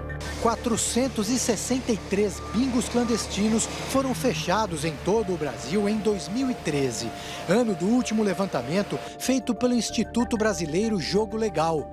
Só em São Paulo foram 149. Com dificuldade para fechar as contas do orçamento do ano que vem, o governo federal estuda a possibilidade de legalizar novamente os bingos no país. Associações ligadas ao setor estimam que a arrecadação de impostos dos bingos chegaria a 10 bilhões de reais. A ideia ganhou o apoio do delegado da Polícia Civil de São Paulo, Edson Luiz Pinto. Ele também é diretor da Confederação Nacional do Turismo e vai além. O delegado defende a construção de hotéis cassinos no Brasil. Para este promotor, contrário à legalização, organizações criminosas controlam esse tipo de atividade. Legalizando o jogo, seria muita inocência imaginar que essas pessoas que ganham milhões e milhões explorando o jogo de forma clandestina vão abrir mão de atuar nessa área. De modo que são essas mesmas organizações criminosas que atuam é, infiltradas no Estado, que atuam de forma violenta, que atuam controlando o território vão continuar controlando o jogo depois que ele for legalizado. Vai lá, meu amor. Boa sorte.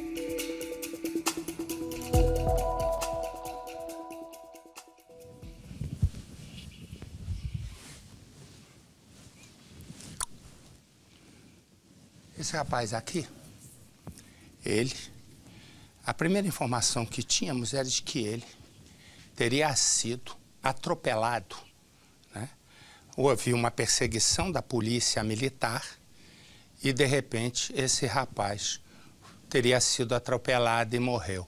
Essa era a versão dos policiais militares. Agora vem a verdade. Eles estavam numa perseguição, um dos policiais atirou, atirou num bandido, a bala foi e pegou nesse rapaz aí. Os PMs teriam mentido ao dar o depoimento. Eles perseguiam dois homens numa moto e um dos tiros acertou o vigilante que caminhava calmamente pela rua.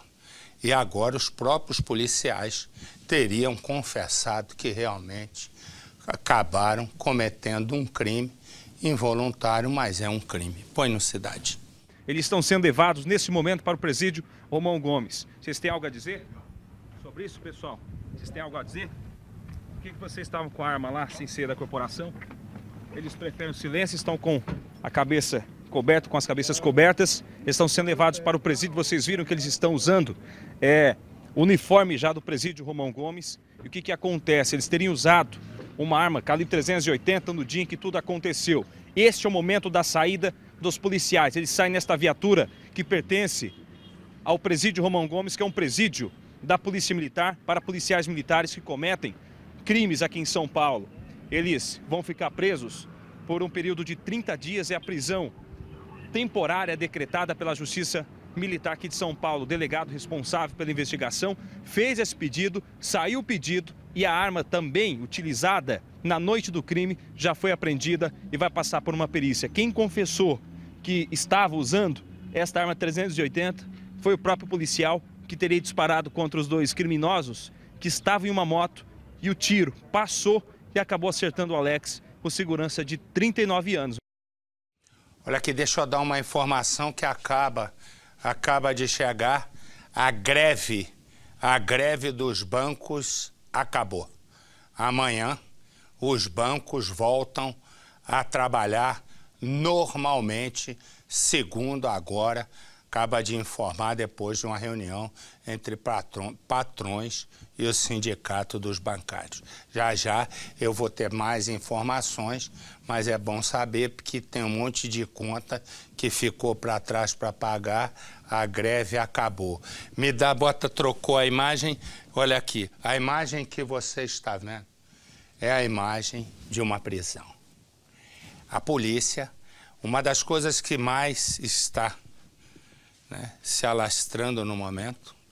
Uma das coisas que mais estão se alastrando no momento, corrigir para o português estava errado.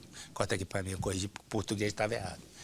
Uma das coisas que mais estavam se alastrando, que estão se alastrando no momento, é o roubo de motocicletas. Mas o roubo de motocicletas tem um sentido. É porque cada vez mais os ladrões assaltam com motocicletas. Crimes encomendados e assaltos usando moto.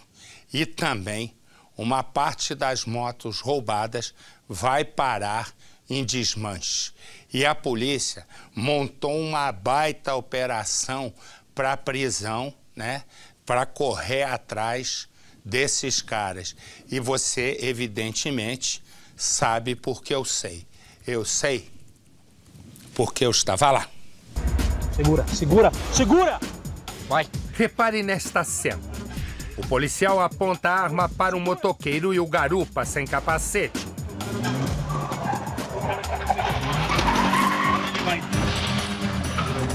Vai na festa, ele vai lá na festa lá.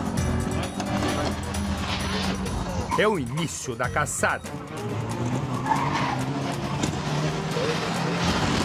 Então você vai travar ele.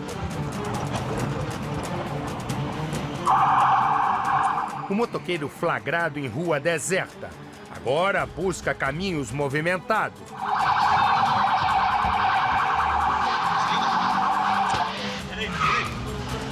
Pegar a direita ali,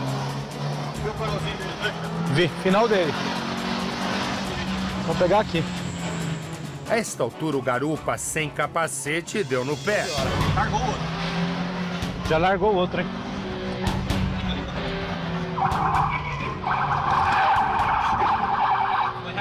Não, esquerda. Esquerda. Direita.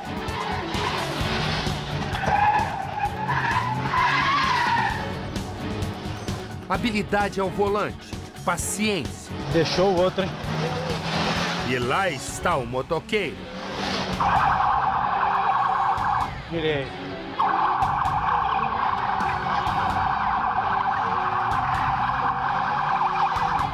100 metros separam a polícia do fujão.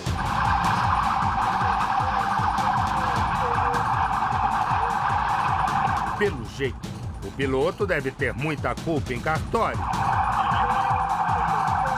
Caiu não. E quanto mais rápido, maiores são as possibilidades de um tombo.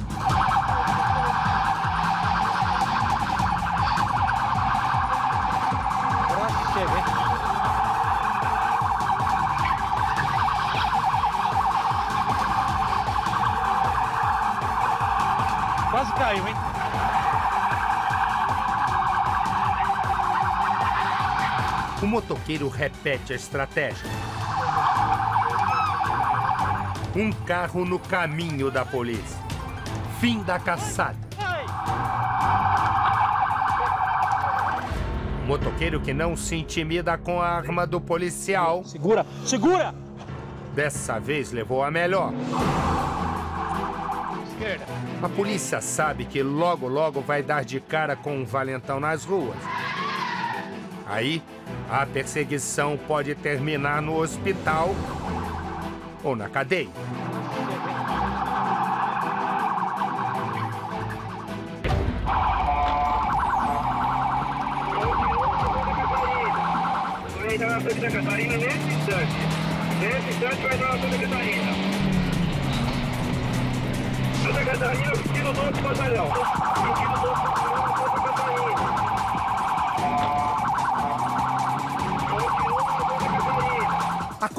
Tem um motivo. Os policiais estão atrás de uma moto suspeita. É hora de encarar frente a frente o suspeito. Ai, para! Para! Para! Para! Levanta a mão! O casal está cercado. Levanta a mão, Zé! Como não levanta a mão? Vai, coloca a mão na cabeça você também aí, vai! O homem é revistado. O policial dá uma dura na mulher. Coloca a mão pra trás. Por que que vocês fugiram da polícia? Porque eu tô sem capacete. Só porque tá sem capacete, vocês fugiram da polícia nessa velocidade. Você tá sentindo o cheiro de queimado da moto? Tá sentindo ou não tá? Quantos anos você tem? 21. Você tem documento? Não, você vai de como? Tem alguma passagem pela polícia? Nenhuma. Nunca foi presa? Agora é a vez do rapaz. Você tem mais alguma tatuagem além dessa? Não, não quero que você tá sem capacete. E ele é o que, senhor? Isso aqui é da espinhal. E essa curva Você mora onde? Na rua. Isso. Não, eu tava dando uma Além de fugir da viatura, você tava indo pra onde? Não, eu ia pra minha casa. Se quiser, tem sua um cartão. Se você quiser, tem um cartãozinho. De cartão nenhum. 3403. 3403 é de São Paulo. Os policiais checam se a moto é roubada. É uma Honda CB600 Hornet. É, 2006. Pelo, pela Prodeste nada consta. Pela PM e Prodeste nada consta. Ai, para! Para! Para! Levanta a mão! Agora eles seguem apoio a outra viatura. Na chegada encontram dois suspeitos.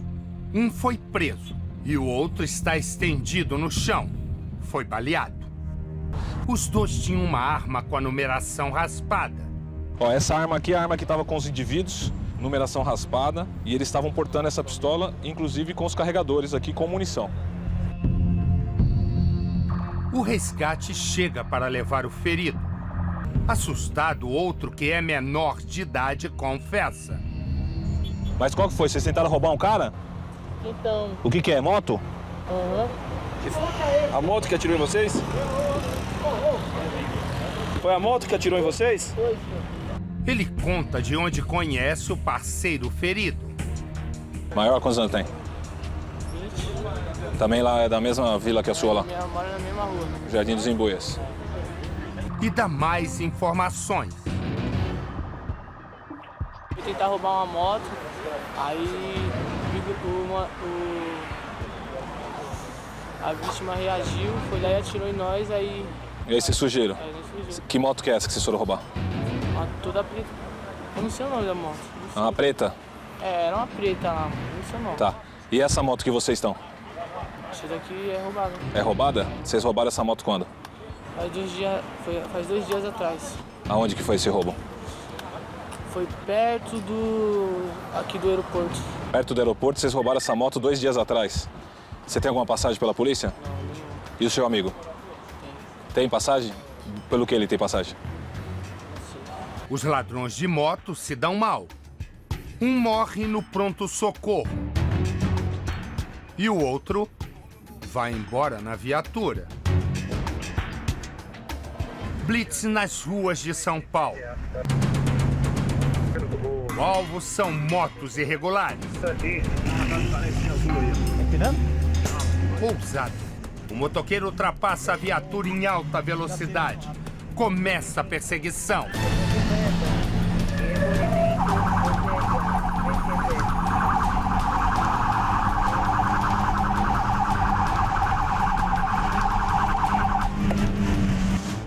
Encosta, meu.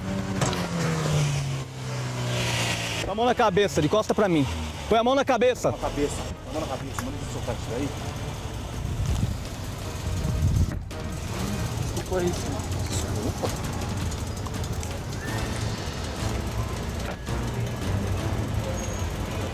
Moto é sua? É, senhor. Você é habilitado? Não. Não, vou prender sua moto. Beleza? Vai fazer gracinha em outro lugar. Não, senhor, foi sem querer. Foi sem querer? Eu vou prender sua moto sem querer também, beleza? Tá bom, senhor. Você mora onde? Aqui não. Foi preso? Não, senhor. Tem nenhum artigo? Tatuagem? Não. Tenho Trabalha? Nada, tô vendo serviço agora. Tá vindo um pouco de pressa só. senhor. Seu documento aonde? Pega aí. A Força Tática revista a mochila do suspeito. Checa os documentos e o registro da moto.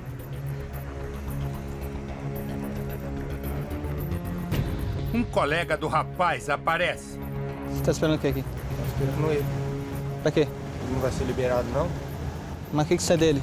Sou colega dele, pô. Os policiais descobrem que o motoqueiro não tinha habilitação. Além disso, a moto estava cheia de multas. Com esse número aqui, o CR, você verifica. Na hora que você pagar a multa, você verifica onde tá. E vê se fica mais esperto. Tá? Vai fazer gracinha em outro lugar.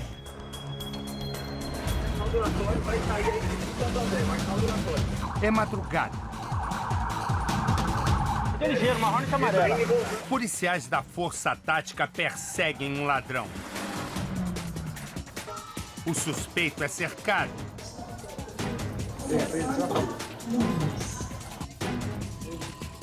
Qual que foi? Você foi pra fazer mensagem de quê? Não tem nada? Mesmo? Mil reais por uma moto que vale 13 mil. Eu tenho certeza que você não pagou mil nela. Vamos trocar uma ideia de boa que às vezes dá até pra você ir embora. Às vezes dá até pra você ir embora. Troca uma ideia. Onde que tá seus docs? Onde tá seus documentos? Os policiais checam o chassi. E a mãe do rapaz aparece. Tem previsão para retorno? Não tem. Levar não, no DP. céu, eu te soco aqui mesmo. Eu paro e vou presa. O que você quer? Hã? Já avisei. Uma, duas, três, avisei. Colocado no camburão, o ladrão vai para a delegacia. E o rapaz acaba dando com a língua nos dentes. Ah, cadê a placa da moto? Onde você jogou? Cadê a placa? Hã? Qual que era as placas dela? Qual que era a placa dela? Não, tava sem placa. Não, se liga, meu. A vítima falou, a moto tá emplacada, já tá faz tempo já. Então, E o que você fez com a placa dela? joguei no Rio, sim. Você lembra qual que era? É. Firmeza. A rota está na rua. E os motoqueiros na porta da pizzaria deixam os policiais desconfiados. Trabalha aqui os dois? Aqui na. Quantos anos você tem? 16. 16 anos. Você já esteve preso no quê? Nunca fui preso não. Você nunca esteve na FEBEM por motivo nenhum? Nunca foi para uma delegacia? Nunca. Hã? Nunca. Não? Nunca. Certo. Você tem quantos irmãos? Tenho uma irmã só. Só uma irmã? É, Certo. tenho Você tá vindo da onde agora? Tava ali na minha pizzaria ali. Hã? Aí eu fiz a entrega e deixei pra falar com meu colega aqui. Hum, qual que é a sua moto? Essa do meio aí? Isso. É moto de leilão? O que que é? Não, Ou é menino- BO? É BO. É BO? É. É o quê? Ah, os meninos passou vendendo na pizzaria e falou que tava a numeração raspada. A numeração raspada. É. É por isso que você correu da gente? Não, não corri não, senhor. Porque eu Hã? fui subir aqui, Hum. aí tava molhado, aí eu dei a volta ali, subi pelo seco e parei Hum. aqui, ó. Certo. Quanto você pagou nessa moto aí? 200 reais. 200 reais? 300. 300 reais. Isso. Quando você comprou ela? Faz tempo já, faz uns dois meses. Uns dois meses? É. Eles vão descobrir mais um roubo. Essa moto aqui é de quem, meu? Esse aqui, ó. Esse aqui, vem aqui. É, vem aqui.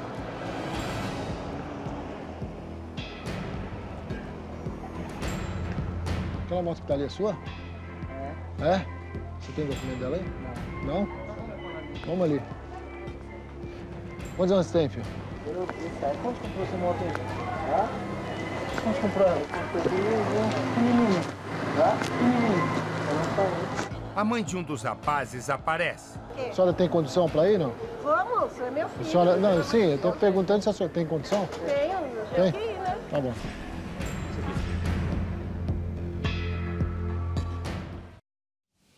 Vou te contar. E é um, é um atrás do outro, né? Na verdade, quando você vê essas motinhas passando, esquece. Esquece, porque que tem de moto roubada. E agora começou um negócio de matando com moto, que é a última, é a última invenção. Vamos lá, Mari? Deixa eu dizer uma coisa. Pensa, me dá a imagem. Tem um homem que acaba de ser preso. Ele foi preso, ele acabou matando um senhor numa tentativa de assalto. Exatamente isso. Ele já está preso. Põe no cidade. O crime assustou os moradores de Araçatuba. O sapateiro Miguel Negre, de 88 anos, foi morto com um tiro. O principal suspeito, Rafael Borges Dias Gomes, de 23 anos, foi preso horas depois e encaminhado para a cadeia de Penápolis. Segundo testemunhas, o sapateiro foi abordado por um homem dizendo que queria comprar uma bota. Enquanto o seu Miguel foi até os fundos da loja procurar a numeração solicitada pelo suposto cliente, o homem aproveitou, foi para trás do balcão e começou a procurar dinheiro nas gavetas. Seu Miguel voltou e flagrou a ação. E disse: Eu não tenho dinheiro. O movimento está fraco. Inconformado, o criminoso atirou. Seu Miguel ainda foi socorrido, mas morreu a caminho do hospital. No velório, parentes, amigos, muita emoção e saudade na despedida de seu Miguel. O sobrinho lamenta e ainda não acredita no que aconteceu. Olha, há, um mês atrás nós estávamos numa festa com ele. Era uma pessoa, dançou com as sobrinhas, dançou com as, com as irmãs. Era uma pessoa totalmente do bem, não, não tem nada que possa justificar esse tipo de coisa. Quando esta mulher, quando esta mulher, põe lá a imagem, Edu, para mim ali, por favor, Edu. Quando esta mulher conhece este homem, Ariane tem uma certeza: a vida dela vai mudar. Por quê? Quando ela o conhece, é um sapequiaiá só, mas é uma sapecagem que é uma graça. O que é que ocorre? Rapidamente ela muda. Ela muda, o estilo muda o jeito e já vai morar com ele. Naquele momento, Ariane está cometendo o último erro da vida. Põe no cidade.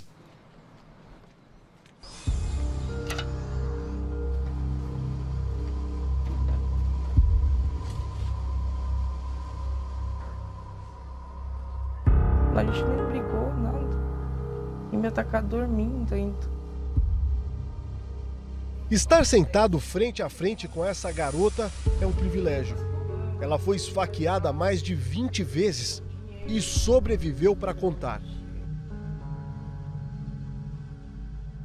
O homem que quase a matou estava internado nesse hospital, mas já saiu e dali foi direto para a prisão. Leandro Guedes, o namorado de Ariane, Eu achei que eu tava sonhando. Daí eu acordei assim, já meio tonta, porque já tava dormindo. Daí já começou aqui. Ó, da facada aqui na minha cabeça. Então aí fiquei mais tonta ainda. Quatro dias antes do ataque, os dois conversaram. Cansada da falta de vontade e iniciativa de Leandro, Ariane sentou com o namorado na mesma sala e disse que pensava em se separar. Foi a motivação do crime. Logo cedo, o filho de sete anos, que Ariane teve em outro relacionamento, foi estudar. Em menos de 10 minutos, passou pelo portão e se despediu do namorado da mãe. Levar o garoto pode ter sido parte do plano. Depois que deixou o menino na escola, Leandro voltou com a intenção de matar. Usou a chave para abrir a porta da cozinha e, na sequência, foi à pia, onde conseguiu uma faca. Sabia que o sogro não estava aqui e agiu de forma silenciosa. Fez o caminho inverso em direção ao quarto onde Ariane dormia. Cansada depois de uma noite longa vendo filmes, ela não acordou. Os golpes começaram logo em seguida. A moça demorou para entender que não se tratava de um pesadelo, mas sim de realidade. E quando caiu em si, começou a tentar convencê-lo a parar. Citou o nome do filho, que precisava criá-lo. E assim, o próprio namorado decidiu interromper o ataque. Deitou na mesma cama e passou a ferir o próprio pescoço. Foi o momento que a mulher aproveitou para fugir. É a primeira vez que a vítima consegue falar sobre o assunto. Ó, ele para, por que, que você tá fazendo isso? E ele falava, não, eu te avisei, eu te avisei. Eu falei, mas o que, que eu fiz? Aí comecei a gritar, socorro. Na hora a gente nem pensa. O casal ficou junto por três anos. Tinha se separado por um mês. Mas, como morava no mesmo terreno, se encontrava sempre. Apaixonada por Leandro, a moça decidiu dar a ele uma segunda chance, mesmo sabendo que o rapaz não queria nada da vida. Quando a polícia isolou a rua com fitas, tentava negociar a rendição do acusado. Leandro tentou o suicídio dentro do mesmo quarto e com a mesma arma do crime, mas desistiu quando percebeu que estava sozinho. Nos segundos que teve para respirar e pensar, mesmo gravemente ferida, Ariane rastejou pela sala e conseguiu chegar ao quintal. Foi quando entrou na casa vizinha e se escondeu. Quando eu cheguei na porta, eu cheguei a colocar a chave, mas eu não lembro como foi que eu caí, porque eu só lembro que eu acordei. E ele vinha vindo atrás, segurando a garganta. Eu falei, ai meu Deus do céu, parece que Deus me levantou assim na hora e eu consegui abrir a porta e sair. No instante em que Leandro percebeu que a namorada tinha fugido, ele ainda tentou persegui-la, mesmo gravemente ferido. Como não a encontrou porque Ariane estava escondida na casa da vizinha, fez este percurso pela lateral da casa para chegar aos fundos, aqui, onde mora a mãe. Exatamente neste ponto, pegou a outra chave que tinha e abriu aquela porta que dá acesso à cozinha. Se escondeu lá dentro, achando que a polícia não iria encontrá-lo. Mas os gritos começaram logo em seguida. Os policiais pediam que ele saísse, mas muito alterado e agressivo, ele gritava que não. Quando a polícia arrombou a porta, precisou utilizar uma arma de choque para contê-lo, conter a fúria de Leandro, que não queria se entregar. Tanto que daqui ele foi direto para o hospital.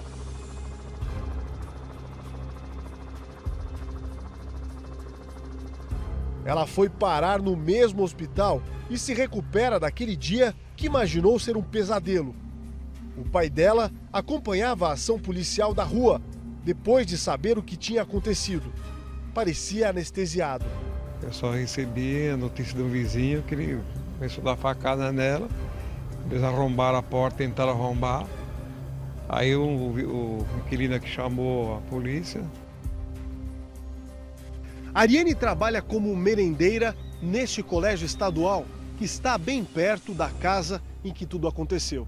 Tão perto que ela vem para o serviço de segunda a sexta a pé. Tentamos conversar com os colegas dela. Eles ainda estão muito assustados, mas disseram longe da câmera que ela é uma excelente funcionária. Tão boa que tem crescido na profissão. E sonha em um dia ser nutricionista. Mas o sonho só pode ser concretizado no dia em que ela voltar e superar o trauma. Eu tenho muito medo, eu não sei daqui pra frente assim. Eu vou tentar, lógico, seguir minha vida, meu filho em primeiro lugar.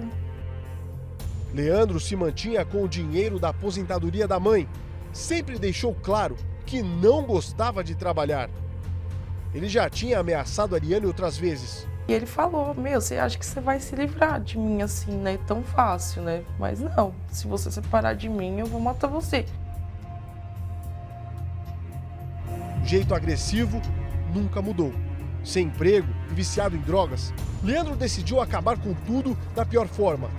Para a polícia, o plano foi traçado no dia em que ela demonstrou não estar mais apaixonada. Peço que um dia eu consiga superar isso, né? Que isso é pro resto da minha vida agora. Não tem como não esquecer isso.